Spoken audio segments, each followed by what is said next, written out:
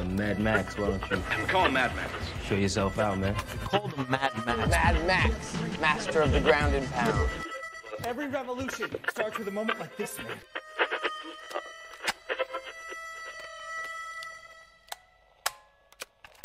Radio Mad Radio Mad Max. Radio Mad Max, radio des chiens de la Cax. Radio Mad Max, la radio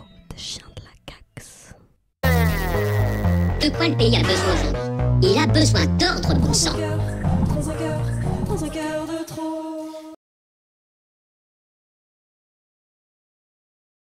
Et bonsoir à tous et bienvenue sur Radio Mad Max, la radio des chiens de la Cax, en compagnie de moi-même, Max, et d'une quantité obscène de poils à gratter, puisque c'est toujours les prolos qui grattent, et qui du coup qui se grattent. Ça Euh. s'explique pas les blagues, Max. Très bien. En compagnie de moi-même, donc euh, la fine équipe euh, toujours, toujours présente, donc nous avons Kill, bien entendu. Salut Max. Euh, nous avons Vide. Salut. Nous avons Fix. Salut Max. Nous avons Jean. Bonjour, Max. Et nous avons Puck. Salut, Max. Alors, donc pour cette euh, émission de rentrée, Season 2, donc euh, deuxième, euh, deuxième saison de Radio Mad Max qui, qui démarre. Bien reposé après, Sur, sur les chapeaux de roue. après ces magnifiques vacances que, que Max nous a offert à garges les gonesse en séminaire pendant deux mois. Oh, Merci à toi. Max. Également, C'était adorable. également en Andorre où la cigarette coûte vraiment pas cher. Des stocks qui ont été euh, approvisionnés pendant l'été grâce euh, Voilà. aux douanes et aux tarifs réduits. Euh, donc euh, petit petit changement donc qui arrive euh, qui arrive cette année euh, sur euh, la saison 2. Euh, quel euh, quel changement qu'il Eh bien c'est que l'émission aura lieu En euh, bimensuel, hein, on va dire. hein. bimensuelle exactement. Alors, bimensuel, c'est hyper pas clair. On a quelqu'un qui nous dit dans le chat que le son est pas fort. Merci pour la remarque, pirate. OK. Euh, merci à Pirate de l'Edelweiss. Et du coup donc euh, oui exactement bimensuel donc, Donc ce une sera fois, un dimanche sur deux. voilà ça. Donc le, le premier dimanche et le troisième dimanche du mois normalement. Puisque là c'est comme ça ce, ce mois-ci. Effectivement, Voilà, à voir avec les aléas de- du calendrier. exactement. Les mois de 5 semaines, etc. L'année du solstice. Le 29 février. Euh, donc on va revenir euh, un petit peu sur le sur l'agenda de des derniers jours. Donc euh, agenda chargé. Ou en Hein, couleur. ou en Ou- couleur. ou en couleur en tout cas. Donc euh, samedi euh, 22 décembre, euh, 22 septembre. oula. Donc il y avait une manif euh, contre les violences policières et une voiture de keuf donc qui a été euh, prise à partie et où les gens ils ont jeté des trucs dessus, euh, donné des coups de pied tout ça. À Et- Paris. à Paris. Euh, et euh, il y a eu donc trois arrestations sur le coup euh, à ce, à ce moment-là quoi. Et il y a le flic qui a sorti son flingue aussi. euh. Et le flic a sorti son flingue, euh, du coup, s'en est suivi. euh, polémique médiatique, euh, machin, machin. Max, petit, petit détail technique, il y a quelqu'un dans le chat qui nous dit qu'il peut pas avoir le, la diffusion parce que c'est en 1080p et qu'il doit pas avoir la connexion suffisante. Est-ce que c'est possible de le mettre en 720p Euh, Ou c'est pas je possible sais pas du Non, parce qu'il y a une photo formidable dans cette émission et du coup, ce serait quand même vraiment dommage.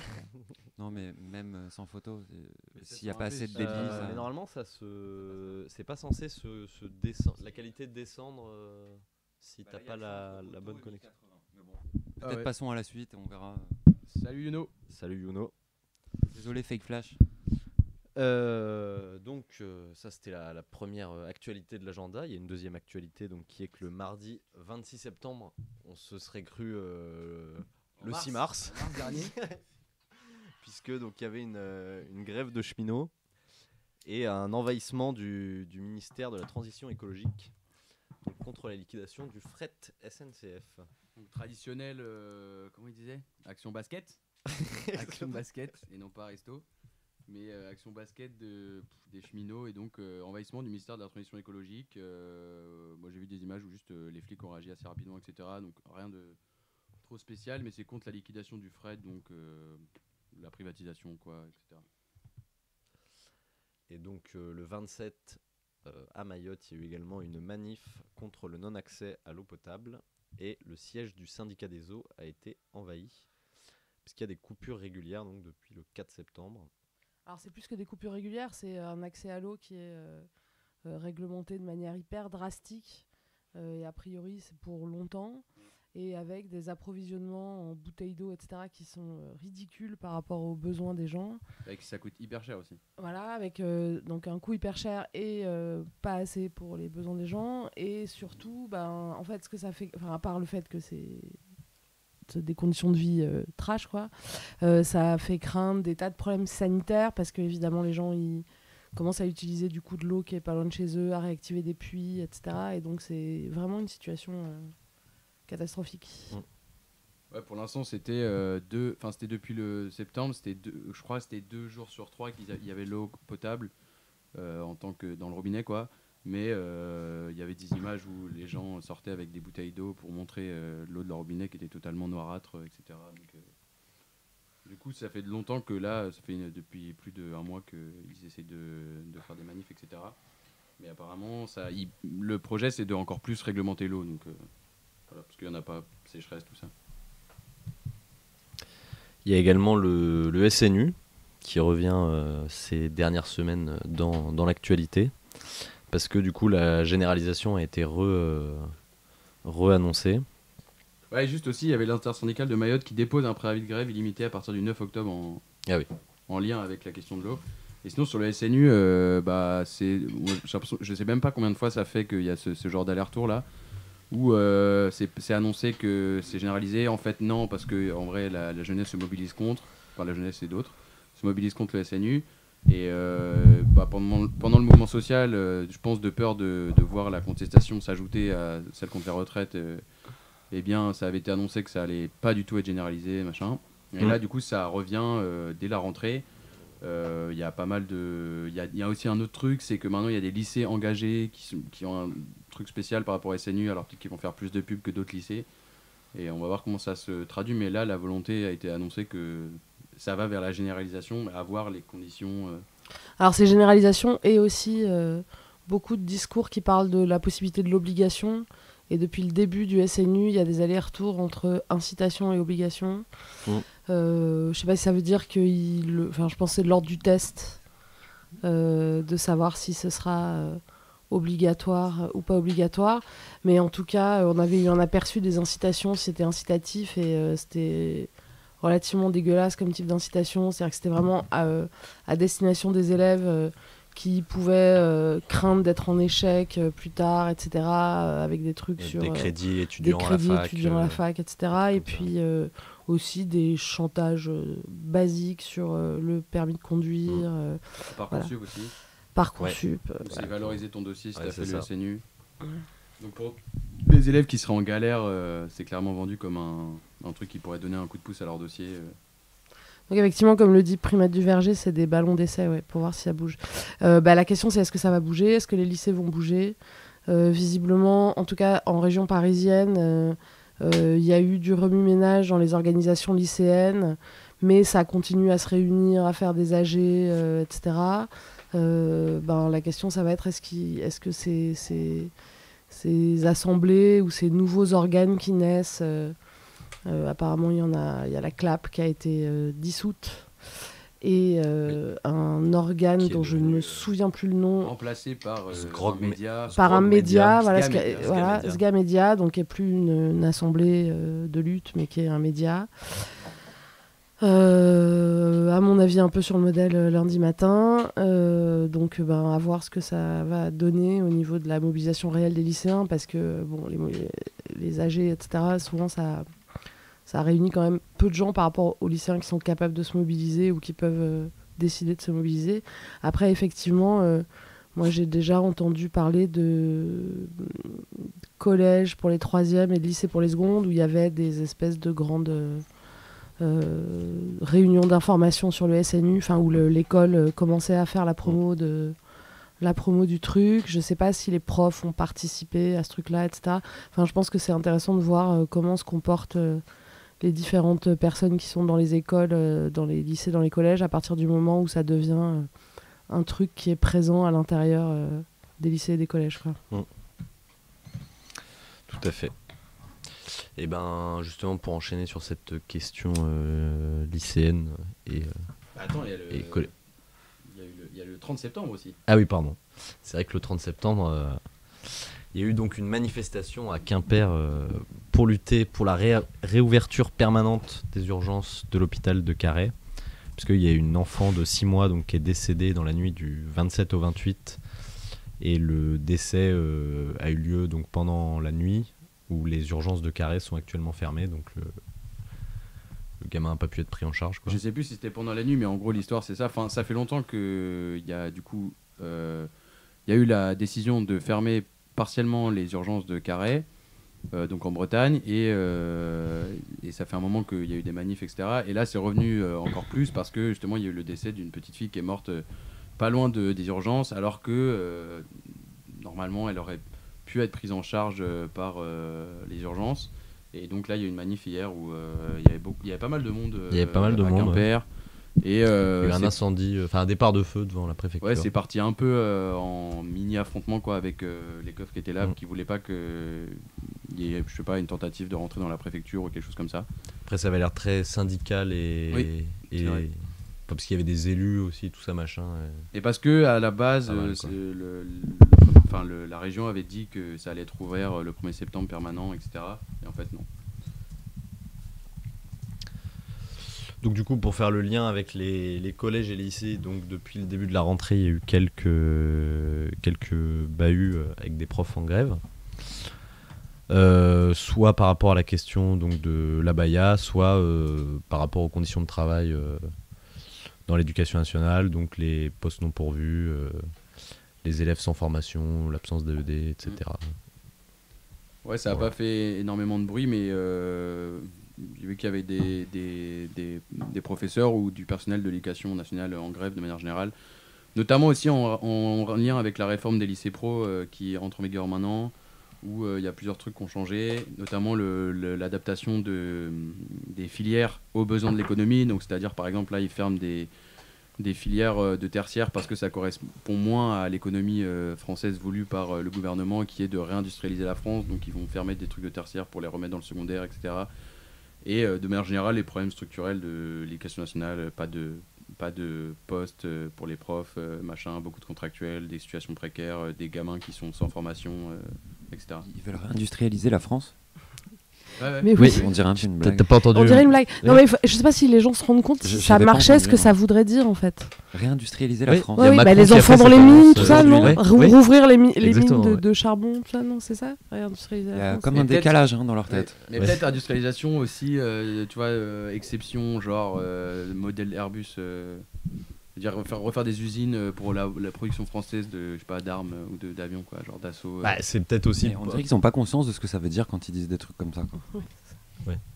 Et du coup, le, je crois le jour de la rentrée, il y a eu une réunion. est-ce qu'on va avoir aussi à nouveau euh, le PCF de l'époque de l'industrialisation Ah, La c'est- CGT. C'est peut-être un hasard, mais moi, il y Les a quelques moustachus à jours, j'ai entendu, euh, je crois que c'est, je sais plus si c'est Elf ou Total, mais un des, un des, Mm. trois- un des deux ou trois euh, pétroliers géants, qui a annoncé dans un communiqué que les énergies renouvelables n'étaient pas assez rentables et qu'ils allaient tout recentrer sur le pétrole. je, je trouve qu'on est dans une époque étonnante, un peu post-post là, Ouais, c'est. et on va être post-écologie là. C'est- bon, bref. Mais euh, ouais, réindustrialisation de la France. Mais je crois le PCF, justement, ils sont. Enfin, Roussel, il est pas contre la réindustrialisation de la Ah bah forcément. Enfin, c'est sûr, euh, voilà. Lui, il doit avoir un mirage comme ça de retrouver plein d'ouvriers encartés, tout ça, machin.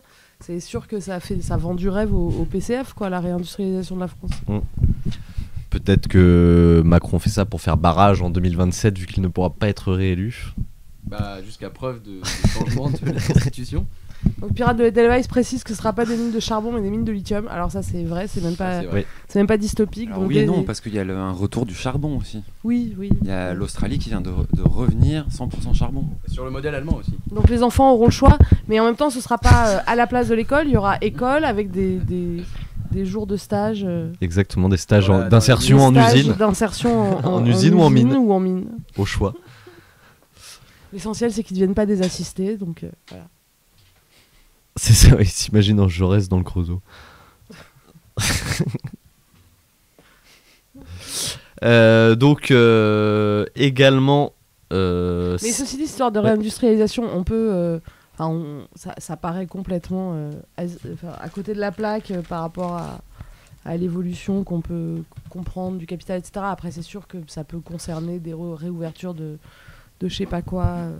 Voilà. Mais, euh, mais ce qui est sûr, c'est que par rapport au thème de l'émission, euh, ça vend du travail, ça vend, ça vend du rêve de travail, quoi. Et ça vend du rêve d'un d'un peuple de France qui, qui euh, à nouveau, peut euh, faire du vrai travail dans des, dans des vraies usines. Quoi, Bah, c'est ça, mais en vrai, je pense que ce truc-là, il a une logique. euh, Peut-être qu'il sera pas si effectif que ça et que. euh, et qu'effectivement, il n'y a pas euh, 20 000 usines qui vont rouvrir, mais à mon avis, les deux trucs euh, un peu sur lesquels euh, s'appuie le truc de la réindustrialisation, c'est le fait que bah, le lithium, il est essentiellement produit euh, dans le Pacifique, je crois. Euh, Enfin, vers. euh, Bon, là où il y a les embrouilles entre la Chine et les États-Unis. Euh, Radio Mad Max, géopolitique édition. Ouais, c'est pas top là, hein, euh, Radio Mad Max. Parce que le lithium, Ça- c'est surtout en Afrique en plus. Ah ouais Ok, d'accord. Ouais, je le pensais que Congo, le Ah, Congo il- par Il exemple. peut pas être un collab surtout. hein. Oula, en le- plus, ouais, c'est encore mieux, moi j'ai confondu avec le coltan. Bon voilà, c'est pas notre spécialité. Bon, faut c'est nous- pas- voilà, on n'est voilà, pas très fort en de parler de ces géopolitique. choses-là. Mais Faut laisser Je ça. voulais aux- dire loin. Je voulais dire loin, voilà. et Faut que laisser du la coup- géopolitique aux anti-impérialistes. Non, mais que du coup, ça fait un truc. euh, Enfin, il y a un- effectivement ce, ce truc un peu patriote, quoi, de. euh, Qui est, v- qui est vendu avec ça, de, euh, de produire ses propres ressources. euh. Voilà. Et Made in France. Made in France, exactement. Avec y compris apparemment les Verts qui Mais- défendent les mines de lithium pour la transition écologique. Bah, Voilà. Comme euh, certains écolos défendent le nucléaire. euh, pour, euh, Et le- des gauchistes qui défendent le li- lithium Contre le de racisme. France contre le racisme pour pas que ça soit du lithium d'ailleurs. Voilà. Voilà. Donc eux, à la place du ni ici Oui, ni ailleurs, ils ont fait le ici pas ailleurs. Voilà, Ici et ailleurs d'ailleurs par ailleurs parce qu'ils s'occupent pas non plus de lutter Oui. contre les mines de lithium ailleurs. Donc euh, c'est ici et ailleurs. Bah, bravo, euh, franchement. Les winners. Si c'est vrai, c'est très grave. Et ce truc de s'autonomiser sur les. Enfin, parce que le lithium, c'est du coup les batteries. C'est peut-être aussi un truc de. euh, Pas que. hein. bah, principalement, quand même. Enfin, euh, et je sais pas, c'est. Enfin, on peut aussi penser ça dans une. euh, une genre de préparation de, des États à, euh, à la guerre, quoi. Enfin, ou à un, un truc où, en tout cas, il y a des guerres qui font que euh, ces ressources-là sont plus compliquées à obtenir, etc. Des guerres électriques. Exactement. Donc cet été, parce qu'on on va fermer la parenthèse géopolitique, euh, effectivement, euh, il y a eu donc euh, euh, des mouvements de grève, euh, Ah, en de- fait, c'est toujours maintenant. hein. et c'est d'ailleurs toujours maintenant, effectivement, euh, de, des sans-papes euh, donc dans les Emmaüs. Euh, donc là, c'est le quatrième mois de grève. euh, euh, là, là. Enfin, ça a commencé effectivement dans. euh, une- En fait, c'est plutôt dans le nord que c'est localisé les, les, les grèves de sans-pape de, des communautés Emmaüs. Mais ça avait commencé à Saint-André-l'Élise. Et ça fait du coup 4 mois que eux ils sont en grève. Ils dénoncent euh, bah, les conditions de travail euh, parce qu'ils sont payés, je crois, 150, 150 balles, par ouais. mois. Non, alors je pense que c'est intéressant de se pencher sur le système des Oui, voilà. communautés Emmaüs. Aussi par rapport à la discussion qu'on va avoir en fin d'émission sur la question de l'assistanat. Parce que c'est vraiment euh, instructif, quoi. Donc les communautés Emmaüs, elles sont lancées euh, après l'hiver 54, euh, l'abbé Pierre qui fait son discours très sur la, nécessité de la charité, etc., etc. Donc la réponse à la pauvreté, etc., c'est les communautés Emmaüs qui est proposée. Donc les gens qui sont accueillis dans les communautés Emmaüs, ils sont nourris, logés. Euh, à ce titre, euh, euh, ils perçoivent un salaire extrêmement réduit, donc genre en, modalité quasiment argent de poche. Et surtout, en vue, étant donné cette situation-là, sachant qu'ils travaillent pour produire des bénéfices, c'est-à-dire ils travaillent à la collecte, la rénovation de ce que les gens donnent à Emmaüs, et du coup qui sera ensuite revendu pour enrichir Emmaüs, qui est euh, un des euh, premiers propriétaires fron- fonciers euh, en France de logements sociaux, par exemple. Euh, et euh, donc, ils ont de l'argent de poche et surtout, ils ont l'interdiction, à partir du moment où ils intègrent une communauté Emmaüs, de euh, demander euh, le RSA. Euh, C'était déjà le cas pour le RMI euh, quand il y avait le RMI. Donc, c'est des gens qui pourraient prétendre euh, au RMI ou au RSA, qui sont dans une situation où ils pourraient l'avoir. Euh, voilà, et où euh, il y a une institution charitable qui les empêche de l'avoir au nom de la dignité par le travail et la rédemption, puisque c'est quand même chrétien aussi, Emmaüs. Donc la dignité par le travail et la rédemption, et qui se retrouvent à travailler pour rien du tout et pour euh, faire gagner plein de thunes à une société euh, euh, qui, qui achète des immeubles, des appartements pour euh, faire du fric. Et, et souvent en échange de. Enfin là en tout cas c'est aussi pour ça qu'il y a eu la grève, c'est en échange souvent d'une euh, promesse de, régula- de régularisation. Au bout d'un moment, enfin c'est pas Emmaüs qui décide puisque bien sûr c'est l'État euh, français, mais euh, de, en gros ça va faire un bon dossier pour la régularisation etc. Et là en gros euh, ils dénoncent ça, euh, le fait que ça fait, il y en a ça fait 5 ans qu'ils sont là, or je crois que c'est 3 ans normalement, le- normalement pour la promesse etc. Ça fait 5 ans, ils ont toujours pas eu de régularisation etc. Du coup ce mouvement il a commencé euh, dans euh, une commune, mais après il y en a eu d'autres, et donc là il y en a, ça fait trois semaines à Tourcoing, un mois à, à Grande-Sainte, donc toujours dans le nord, et là à Nieppe aussi, le début d'une grève illimi- illimitée qui a commencé Hier. euh, le samedi euh, 30 septembre. Du coup, euh, plusieurs communautés dans le nord euh, qui, sont, euh, qui sont en grève euh, contre Emmaüs en fait. Il y a un autre truc qu'il faut savoir sur le fonctionnement des, des- du Fuck compagnonnage Emmaüs, c'est aussi que euh, les compagnons Emmaüs n'ont pas le droit de d'accéder à l'argent. C'est-à-dire que il y a de l'argent qui circule dans les magasins Emmaüs, euh, dans les dépôts, les trucs où les gens vont acheter des trucs en pensant que c'est bien parce qu'ils donnent de l'argent aux compagnons. Euh, et en fait, pas du tout. Donc, ils n'ont pas le droit de toucher le RSA, mais en plus, l'argent qui circule sur place, il y a tout un système de petits tickets euh, qui est fait pour que les compagnons n'aient pas l'argent dans les mains, en fait. C'est-à-dire, la personne qui a de l'argent dans les mains, c'est euh, une espèce de, en général, de vieille bigote, sans vouloir. C'est comme les tickets de rationnement du RSS. Voilà, qui n'est pas compagnon Emmaüs. Et euh, donc ça montre un peu l'état d'esprit du rapport euh, de la Sistana, justement, euh, comme on va en parler après. Euh, C'est-à-dire que euh, l'idée, c'est que euh, il faut quand même euh, éduquer ces gens avant de leur donner de l'accès à euh, de l'argent euh, avec lequel ils pourraient euh, acheter quelque chose, ou alors ils pourraient éventuellement le voler pour acheter des trucs, vu que c'est des... ce qui est vendu, c'est les trucs qu'ils ont réparés. euh, Enfin. C'est-à-dire qu'en fait, l'organisation au monde qui méprise le plus les pauvres, c'est peut-être Emmaüs, quoi. Et de l'argent, il y en a dans les caisses d'Emmaüs. Alors, je pense- il y a Bon euh, Britney qui ra- rajoute un commentaire sur le fait qu'il y aurait euh, des. qui profiteraient des situations euh, de précarité bah, des sans-papes, par exemple, faire du chantage à la régularisation en demandant des, du travail supplémentaire, etc. Ben, disons que c'est des institutions qui sont faites pour que ça soit possible, quoi.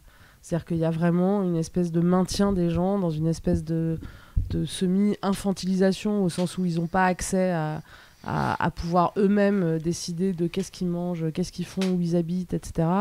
Euh, et où du coup ils sont totalement dépendants de la structure euh, qui les nourrit, qui voilà.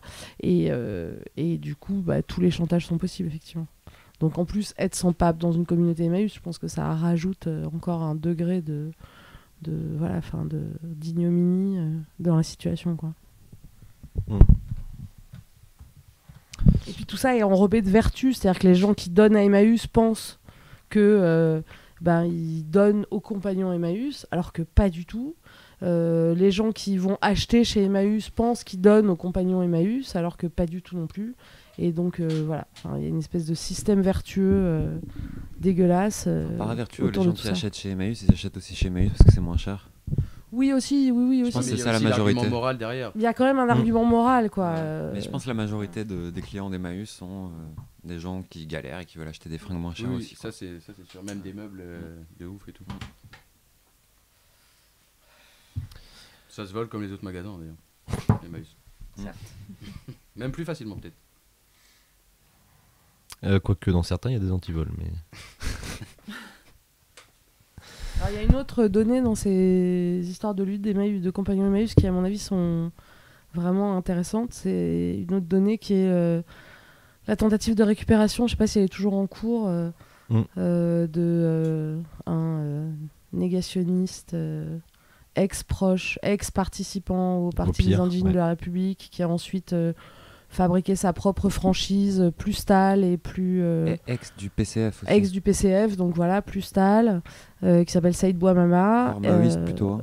Il, est plus maoïste que Stal. hein, ouais, après je disais Stal dans un sens un peu effectivement vague, mais Lui, on- il est vraiment de tradition effectivement, maoïste. c'est vraiment une tradition anti-impérialiste maoïste, qui fréquente par ailleurs euh, des antisémites euh, notoires euh, comme euh, Michel Collomb Et comme lui-même. euh, et comme lui-même. voilà. Il se fréquente.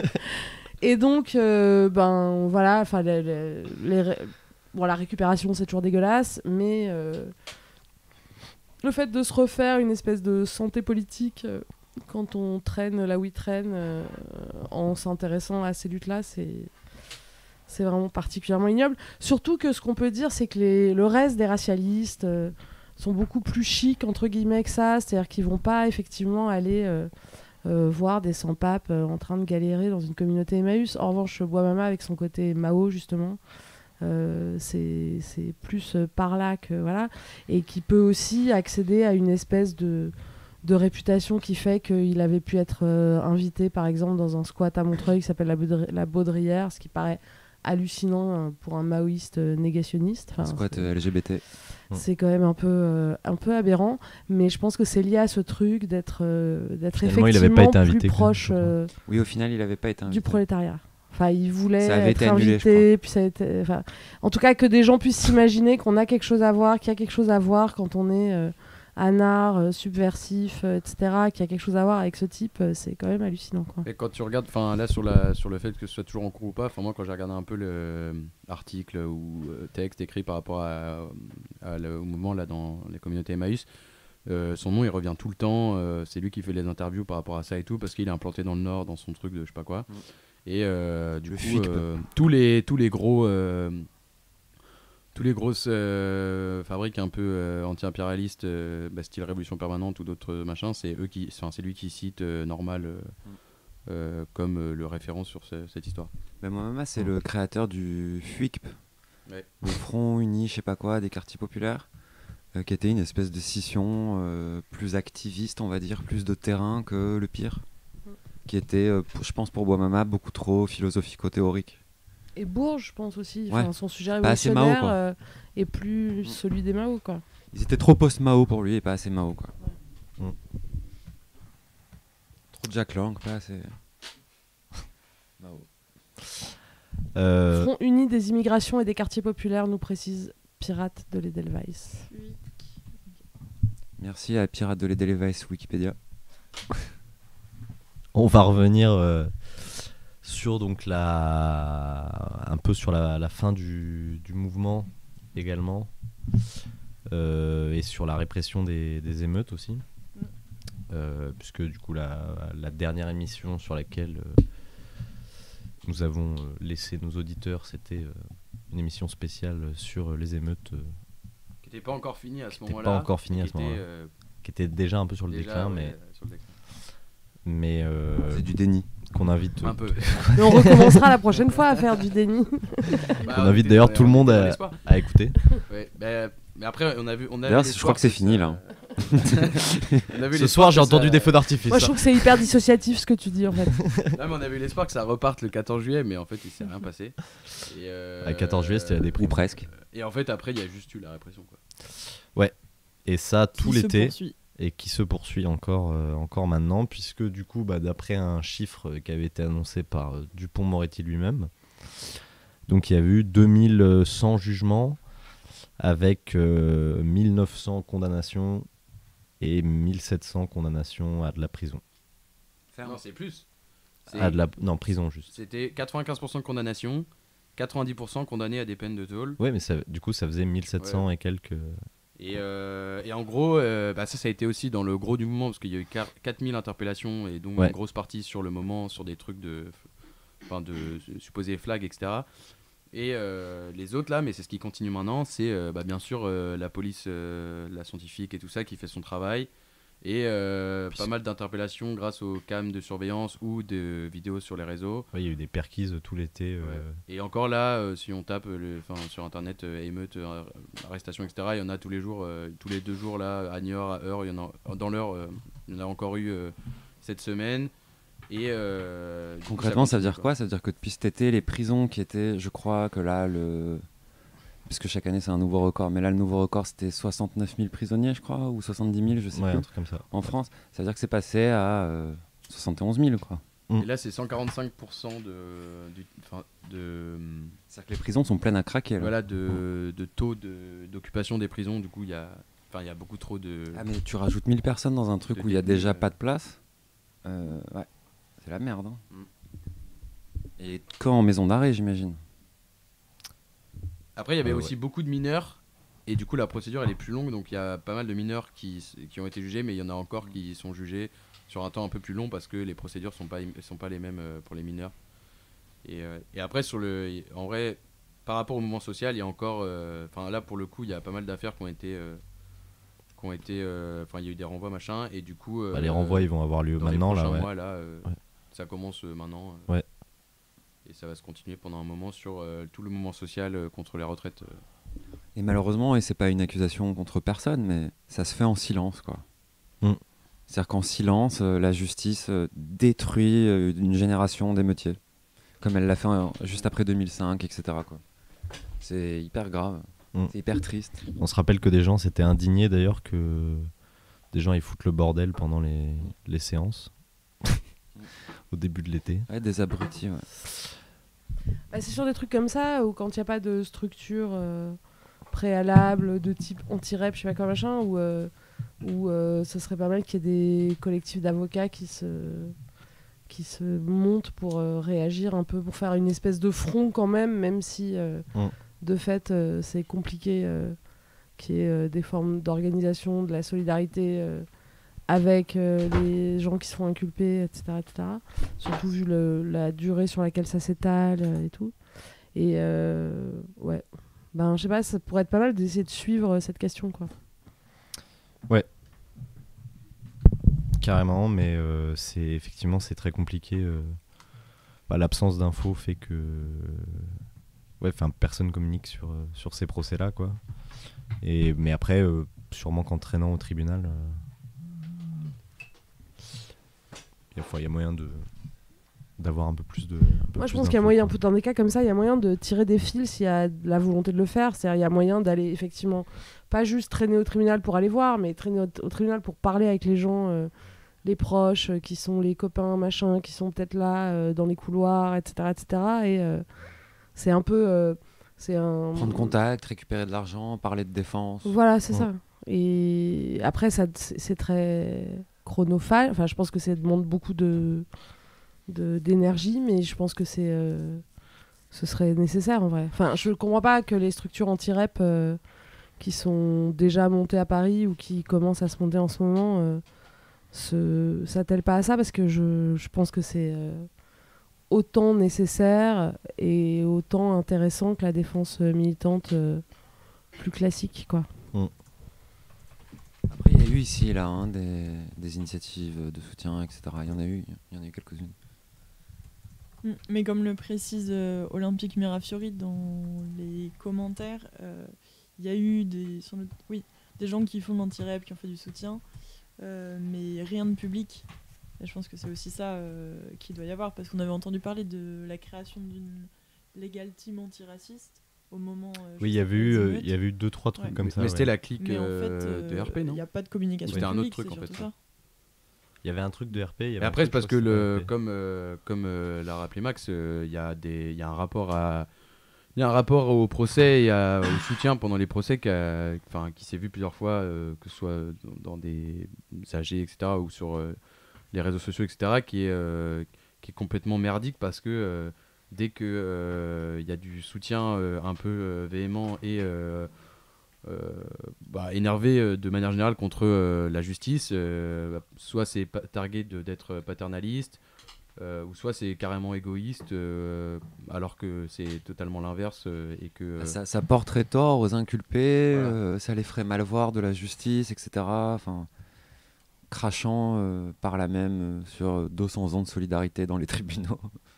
Et des fois, même indépendamment de, de ce point de vue, il y a aussi euh, le point de vue qui pense que les procès sont des affaires personnelles, intimes, et du coup, c'est la famille qui peut venir, euh, mais que c'est pas du tout une question qui concerne euh, Mm. ben, tous les autres camarades qu'on connaît pas forcément.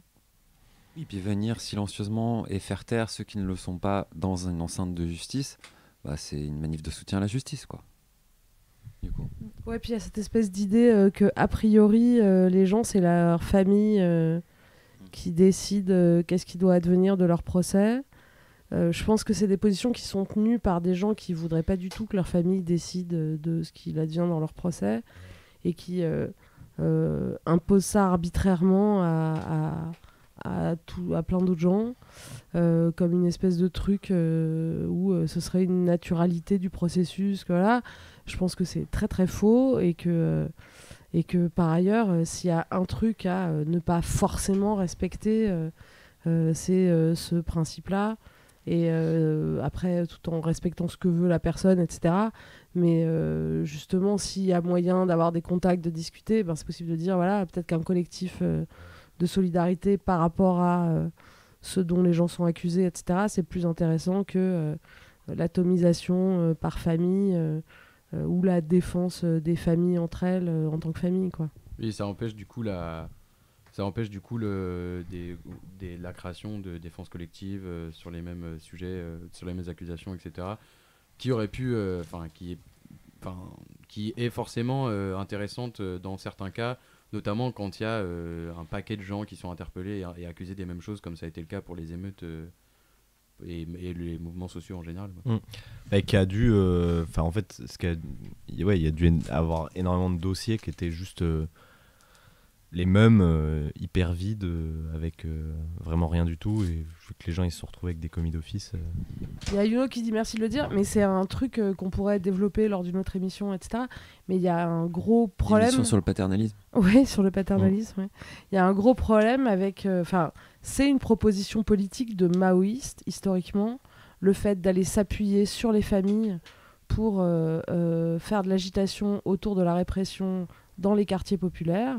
C'est les maoïstes qui ont inventé les comités vérité et justice. Voilà, c'est une proposition qu'il faudrait critiquer en tant que telle, mais c'est compliqué de la critiquer en tant que telle parce qu'elle se présente pas comme une proposition politique, mais comme, euh, comme une espèce de, Oui, soi-disant, c'est pas les Mao, c'est les familles. ouais. de décence de base euh, qui serait euh, respect de la famille. Et euh, après, euh, je pense que c'est pas très compliqué de d'aller au-delà de cette espèce de chantage euh, absurde et de, et de considérer la réalité de la situation, de considérer qu'on n'a pas à réfléchir euh, différemment euh, comme ça à ce point-là pour soi et pour les autres, euh, qu'il faut discuter avec les gens, voir ce qui se passe, etc. Mais qu'il n'y a pas de naturalité à se faire défendre par son père et sa mère dans un procès. quoi. Oui, parfois même ça peut être le contraire, et parfois même se défendre, c'est s'en prendre à sa, famille. hein. Free Britney dit un truc que, que je trouve assez intéressant, que hum, ça ressemble au même discours à l'envers de la, du discours de la responsabilité de la famille euh, des émeutiers, justement, qui était le Mm. discours euh, bah, de toute la droite, même une partie de la gauche euh, qui critiquait les bah, émeutes. il faut expulser les, les familles d'émeutiers, etc. Enfin, c'est un peu le même genre de truc. Oui, ou alors que les parents doivent mieux tenir leurs enfants émeutiers.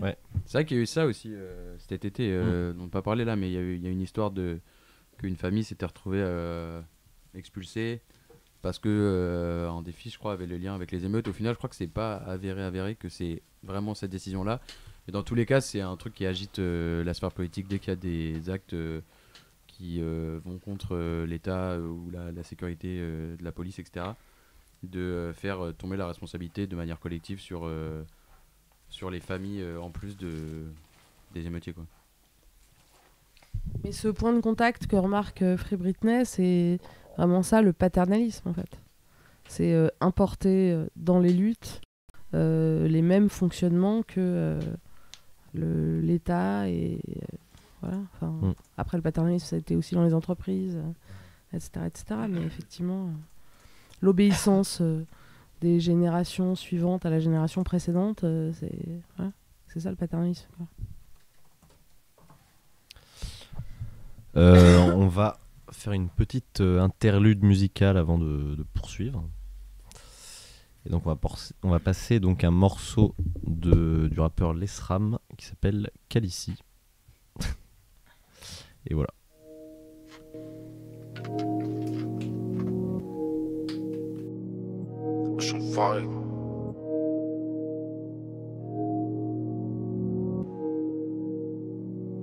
Prends zéro.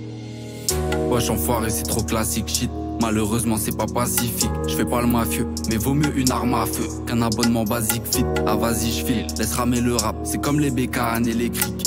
Ça va de pair, ça va de pair. Comme le courant, les câbles électriques. Sous caramello, y'a les stars à vélo. Des parabellums comme à Sarajevo. Vaut mieux rien dire si t'as pas les mots.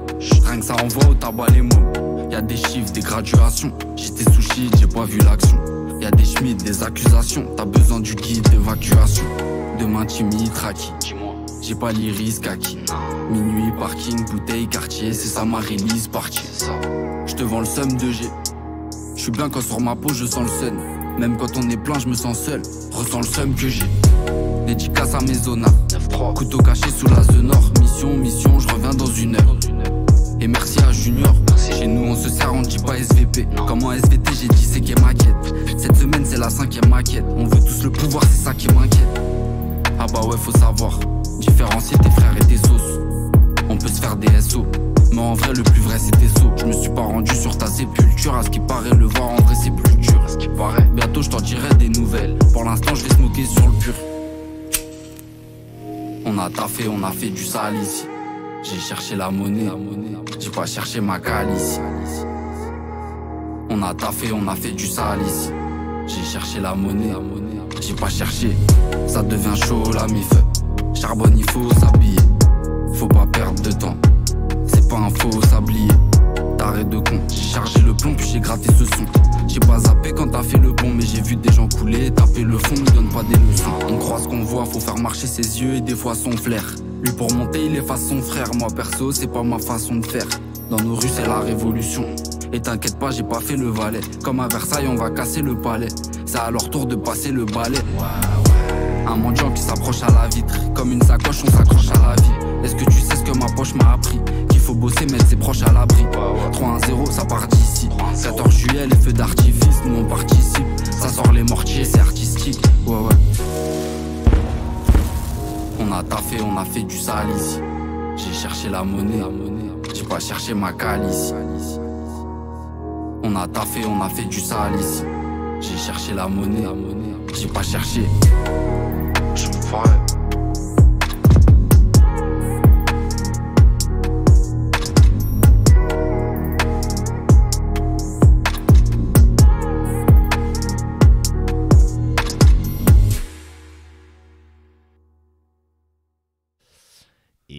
Retour sur Radio Mad Max, la radio des chiens de la Cax. Euh, eh bien, pour poursuivre cette émission, on va. euh, ah oui, d'abord qu'il euh, qu'il a une info. euh, On a eu un, un envoi d'un fidèle abonné qui. euh, Un fidèle auditeur. Un fidèle auditeur. Qui est même pas là. Et euh, ouais, c'est vrai ça. Ou alors qu'on n'a pas vu dans le chat pour le moment. mais- Et euh, qui nous a envoyé un texte euh, par rapport euh, à euh, une, une invitation euh, multiple euh, à un séminaire de l'université Paris Sorbonne. Et euh, pourquoi ça nous intéresse? Parce que c'est un séminaire qui s'intitule Marx au XXIe siècle. euh, et que En les- soi, rien de problématique. Ouais, pour- l'instant. Ça donne envie de dire non merci déjà quand même. C'est vrai que. C'est pas hyper attirant. Au mais 21e, au 22e, 23e, au 19e, non merci. Moi, je trouve ça hyper sexy, vous êtes vous abusez. Ça s'empire puisque dans la liste des Ce qui invités. est pas sexy, c'est que c'est à Paris. hein, mais... Dans la liste euh, des invités, euh, il y a pas mal de gens qui euh, s'acoquinent euh, de figures, ou même carrément des figures euh, du conspirationnisme et euh, conspirationnisme slash euh, négationnisme slash euh, antisémitisme. Du coup, le texte s'appelle Les missionnaires rouge-brun en séminaire et il revient sur euh, les différentes personnes invitées. Donc Bricmont, Colomb, euh, les mêmes qui sont potes de Bois Mama dont on parlait tout à l'heure. Branco, qui est poteau de, et avocat de Kémy Seba. Euh, Liqueur de sextape de. euh, Pinson Charlot, etc. Et, euh, Que des winners dans ma team. et, euh, et Françoise Vergès aussi, Ah bah, il me semble. pourquoi pas? La, Ah, la Dream Team. Et, Finalement. Et voilà. Et, euh, et donc le texte revient sur, euh, sur euh, ce séminaire qui m'a l'air, ma foi, très nauséabond. Et on va le mettre dans le chat et sur Twitter. Tout à fait. Et. euh, et comme pour- quoi le conspirationnisme va bon train, que ce soit dans les partis, les syndicats ou l'université, Ou lundi matin. ou les médias secrets. Invisible. Ou les internets. Les médias de cave. Le dark web. Dark Euh, web.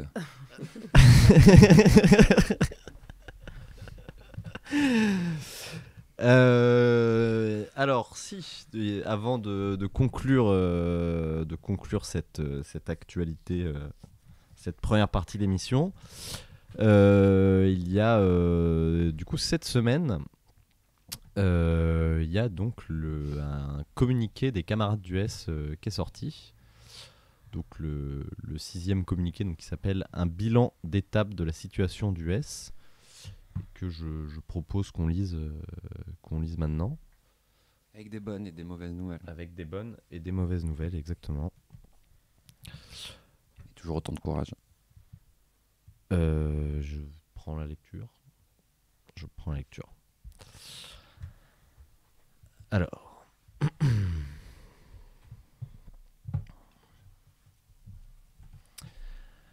Serge a été grièvement blessé le 25 mars 2023 à Sainte-Soline.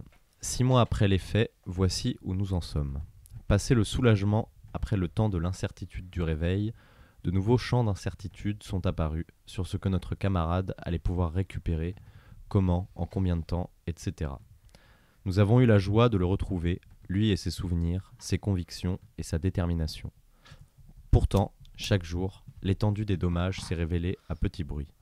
Le choc cérébral qui a entraîné le retrait d'une partie de sa boîte crânienne pour maîtriser un œdème qui lui aurait été fatal a laissé des traces importantes.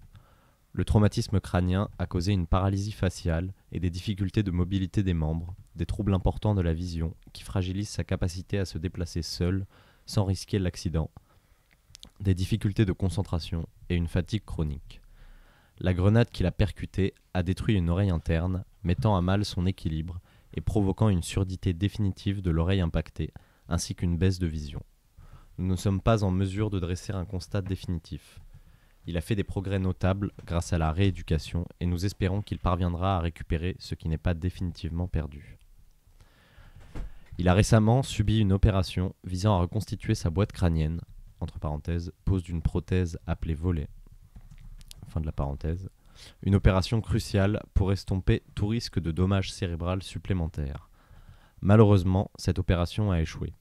En effet, après un mois d'infection, de fièvre, de galères, de cicatrisation, d'antibiotiques, d'entraves dues à des cathéters et d'ennuis, le volet a dû lui être retiré. Il est aujourd'hui encore gardé sous surveillance et nous espérons qu'il pourra sortir rapidement pour reprendre le travail de rééducation. Il devra subir à nouveau cette opération chirurgicale dans quelques mois, sans garantie de réussite. En définitive, depuis sa sortie du coma, Serge n'aura connu que trois semaines hors de l'institution hospitalière. Nous y avons donc passé suffisamment de temps pour constater à quel point, ici comme ailleurs, le capitalisme poursuit son écrasement en quête de marge financière et les patients comme les tra- travailleuses et travailleurs du soin en sont la variable d'ajustement. Malgré la bienveillance du personnel hospitalier, l'hospitalisation reste une situation d'enfermement, avec son lot de dépossession, d'entraves et d'isolement, qui s'ajoute au traumatisme de la blessure initiale. Y faire face n'est pas toujours facile, et le soutien est une ressource primordiale. Je change là. Nous tenons à remercier toutes les personnes qui se sont mobilisées et se mobilisent encore. Concerts de soutien, visites quotidiennes à l'hôpital, compiles de soutien, tags, banderoles, actions, les logements prêtés, les affiches, les collectes de thunes, les dons qui permettent notamment d'assumer sereinement les frais médicaux, hospitalisation, prothèses auditives et les aménagements nécessaires à la vie quotidienne, mais aussi d'amortir l'impact financier pour Serge et ses proches. Merci aussi à toutes celles et ceux qui, deux fois par jour, depuis cinq mois, préparent des repas pour Serge et lui apportent à l'hosto. Merci à ceux qui l'ont accompagné, marché, l'ont accompagné marcher, à tous ceux qui ont été présents pour le soutien moral. Merci à ses collègues qui lui envoient quotidiennement des photos, lui rappelant une partie de sa vie d'avant. Merci pour les messages de soutien, les chansons, les Yes. vid- les vidéos qui donnent de la force. Cette solidarité est exemplaire. Nous avons conscience d'être bien lotis comparé à toutes celles et ceux qui subissent seuls la répression, à l'ombre des chaumières, sans force collective pour contrecarrer toutes les misères qu'elle charrie. Parce que nous pensons qu'il est primordial de prendre collectivement en charge la répression qui s'abat sur les mouvements révolutionnaires, nous proposerons bientôt un retour sur notre expérience propre autour de la blessure de Serge. Nous y présenterons les différentes questions logistiques et politiques auxquelles nous avons été confrontés et comment nous avons su ou non y répondre. Ce bilan n'est qu'un bilan d'étape dans la mesure où nous sommes bien loin d'en avoir fini et où aucun retour à la normale ne se pointe à l'horizon. Et ce n'est certainement pas le règlement judiciaire de l'affaire, quelle que soit l'issue de la plainte qui vise l'action de l'État à Sainte-Soline, qui y mettra un terme. Depuis que l'État existe, sa police mate, fracasse, tue, en un mot terrorise. Un seuil a probablement été franchi en France au moment où les blindés des forces spéciales ont tenté de prendre le contrôle de la rue sans hésiter à tirer sur la foule au petit malheur la chance pour éteindre la révolte déclenchée par le meurtre de Naël. Ainsi, depuis les émeutes de 2005, combien d'yeux crevés, de membres fracassés, de cas de surdité, d'assassinats plus ou moins légaux, de viols, de vies réduites aux miettes au nom du maintien coûte que coûte d'un monde d'exploitation. Combien de séquelles et d'années de rééducation restent-ils une fois que les médias ont fait leur chou gras? La solidarité doit se poursuivre pour que les blessés et enfermés de nos luttes se relèvent de la meilleure des manières et pour que nos morts ne se soient pas fait tuer pour rien. Les capitalistes n'ont qu'un objectif, faire du fric en nous abîmant, en nous détruisant et en détruisant tout ce qui est viable sur le globe. Plus que jamais, la lutte des prolétaires du monde entier est vitale pour trouver le chemin de ce foutu monde meilleur. Les camarades du S. Alors tout à l'heure, vous disiez des bonnes et des mauvaises nouvelles. Moi, je dirais pas ça comme ça parce que euh, je pense que la, la, la bonne nouvelle, euh, c'est euh, la victoire de la vie, euh, le courage de, poursu- de la poursuivre, euh, euh, etc. Et après, le reste, euh, eh ben oui, c'est dégueulasse et c'est plutôt une histoire de, de garder la colère par rapport à ça, par rapport au fait que ben, aller à Sainte-Soline, ça devient plusieurs, enfin un temps, plusieurs mois même, voire de l'ordre de l'année passée dans des structures hospitalières. ça devient une vie transformée complètement. Après, euh, après euh, la bonne nouvelle, c'est quand même euh, la vie de Serge, le fait que euh, il a envie de continuer à vivre, à lutter, etc. Euh, c'est la solidarité qu'il y a autour, euh, etc., etc. Mais après, ce qui se mesure là, c'est euh, les conséquences euh, de, de- des formes de répression d'État et ce que ça fait à la vie des gens, quoi. Et c'est vraiment terrible. Mm. Bah ça fait, euh, en vrai ils le disent dans le texte et ça fait le lien avec ce qu'on a dit aussi euh, avant et, et qu'on n'a pas non plus précisé par rapport à- aux émeutes, c'est que effectivement il y a eu tous ceux qui sont allés en prison etc, mais il y a aussi euh, plein de blessés. Mm. Tous les jours, dans tous les cas, il y a des blessés par rapport, à, par l'action de la police ou de l'État. Et là, aux éme- les émeutes, il y en a eu plein. Enfin, il y a eu encore des nouveaux gens qui sont, qui ont des séquelles à vie par rapport, aux yeux, à la tête, etc. Et, euh, et c'est vrai que par rapport au ce qu'on parlait aussi, euh, ce dont on parlait par rapport au soutien, c'est que euh, les émeutes, ça s'est passé dans un temps effectivement très court, comme Sainte-Soline, et qu'après, pour ces gens-là, que ce soit pour ceux qui ont des suites judiciaires, prison et, et encore d'autres choses, et des séquelles physiques, ben, ce truc-là, ça dure des mois, ça peut durer toute la vie après. Et eux, ils mettent l'accent sur le fait que le soutien que, que- dont Serge bénéficie est, euh, est très chanceux. Il y en a plein qui, qui l'ont pas, mais euh, il, il s'agit aussi euh, pour euh, tous ceux qui s'intéressent à la question de mettre en place des choses comme ce qu'ont fait les camarades d'US généralement pour soutenir tous ceux qui ont subi des trucs pareils. Bah, qui était clairement une initiative, enfin, et qui est clairement toujours d'ailleurs une initiative hyper intéressante et vivante, quoi. Enfin, de. Ça, la bonne nouvelle, c'est que la bataille, elle s'est menée, elle continue à se mener, Mm. qu'elle se poursuit, qu'elle euh, elle est- se fait de manière euh, collective. euh. Après, je pense qu'il va être intéressant le texte Ouais. euh, euh, de bilan euh, parce que euh, je pense que euh, il y a beaucoup de choses qui ont été euh, vraiment euh, plutôt bien euh, assurées euh, dans cette histoire et il y a eu euh, ça a posé des tas de effectivement de questionnements euh, politiques euh, vraiment intéressants. Et du coup, euh, ouais, euh, ben, bravo à- aux proches et tout qui continuent, Ouais. tout ça, à tout le monde. Et euh, ben, vivement le texte, ouais. Carrément. Et puis courage à Serge pour la suite, parce que effectivement, Ouais, c'est pas force à. Serge. Puis Serge, on, on t'attend sur Radio Mad Max un jour. hein. Grave. Ce serait avec grand plaisir. Eh bien, je pense qu'on va faire une nouvelle transition musicale avant de passer à. Peut-être qu'on peut juste rappeler qu'il y avait une émission euh, spéciale de Radio Mad Max euh, sur la question. Oui, tout à fait. Alors, il y a, Avec les camarades du il y a- Serge. eff- effectivement, il y a une émission euh, donc euh, Qui est en replay sur YouTube. Ouais, qui est tout à fait en replay sur YouTube, qui était avec euh, donc qui était une émission avec des camarades Enregistrée à Poitiers. enregistrée à Poitiers, tout à fait. Euh, et il y avait du coup, euh, et on vous invite également à écouter euh, l'émission donc qui, a- qui avait eu lieu juste juste après Sainte-Soline. Et que je cherche, Espoir et Révolution, qui s'appelait Espoir et Révolution. Voilà, c'est ce que je cherchais. Et donc, on va faire donc une petite transition musicale, donc qui, a- qui est très, dont le titre est très approprié au sujet de, très à propos du sujet de la discussion, puisque le morceau s'appelle donc Procrastination. C'est un morceau donc de Ray Anderson. Faut quand même rappeler que la procrastination, c'est mal. Alors, je, pense crois- que c'est important. Je crois que c'est pas le message du morceau, mais Euh, donc de Ray Anderson dans les Slickaphonics.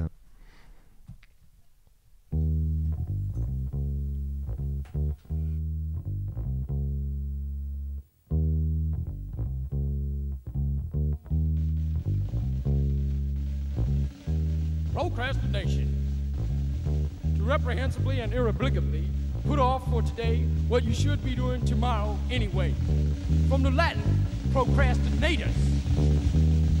Irreplaceably and irrevocably continuing to gaze at one's navel.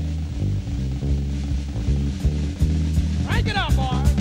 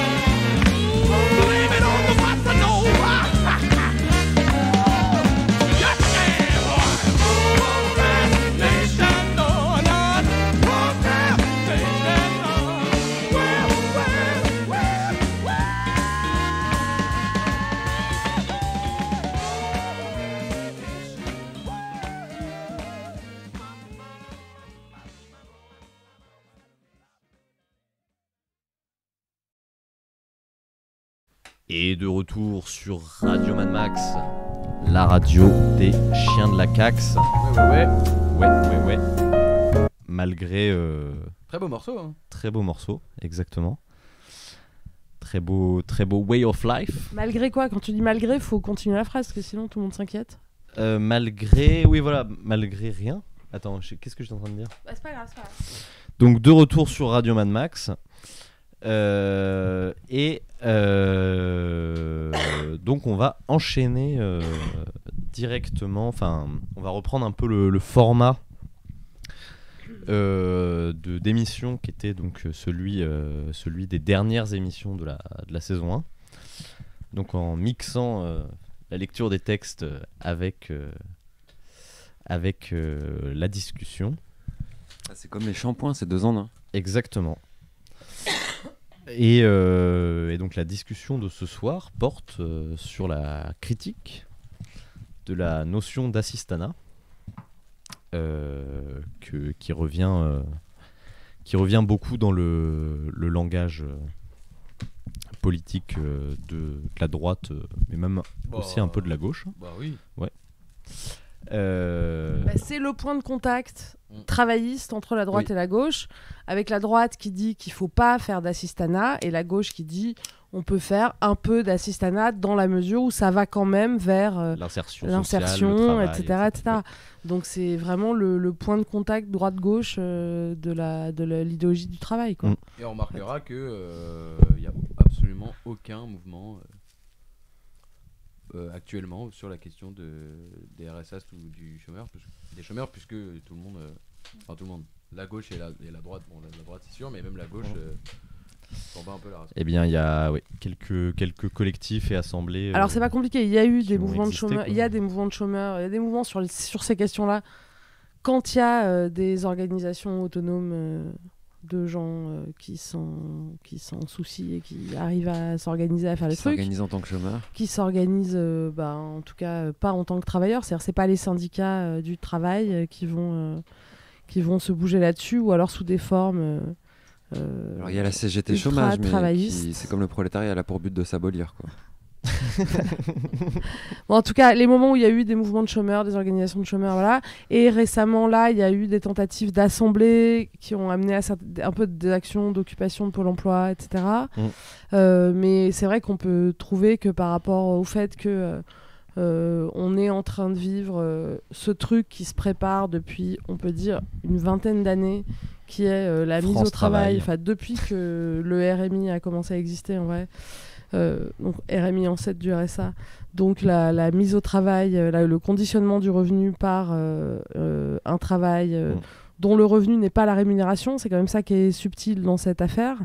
C'est-à-dire que c'est de l'assistanat plus travail, Mm.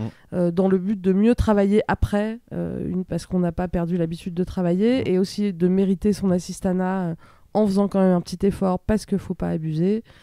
Et ben du coup, euh, ça fait quand même... En voulant euh, assister les assistés, alors qu'ils oui. s'assistent très bien. ça fait quand même très très très longtemps que, que c'est euh, en discussion, qu'il y a des tentatives de mise en place qui existent ça. Et là, ça y est, euh, ça se fait et on pourrait... euh, Enfin, ça aurait pu ou ça pourrait être euh, l'occasion d'un mouvement euh, euh, un peu de la même ampleur que celui de, 80 de 1998.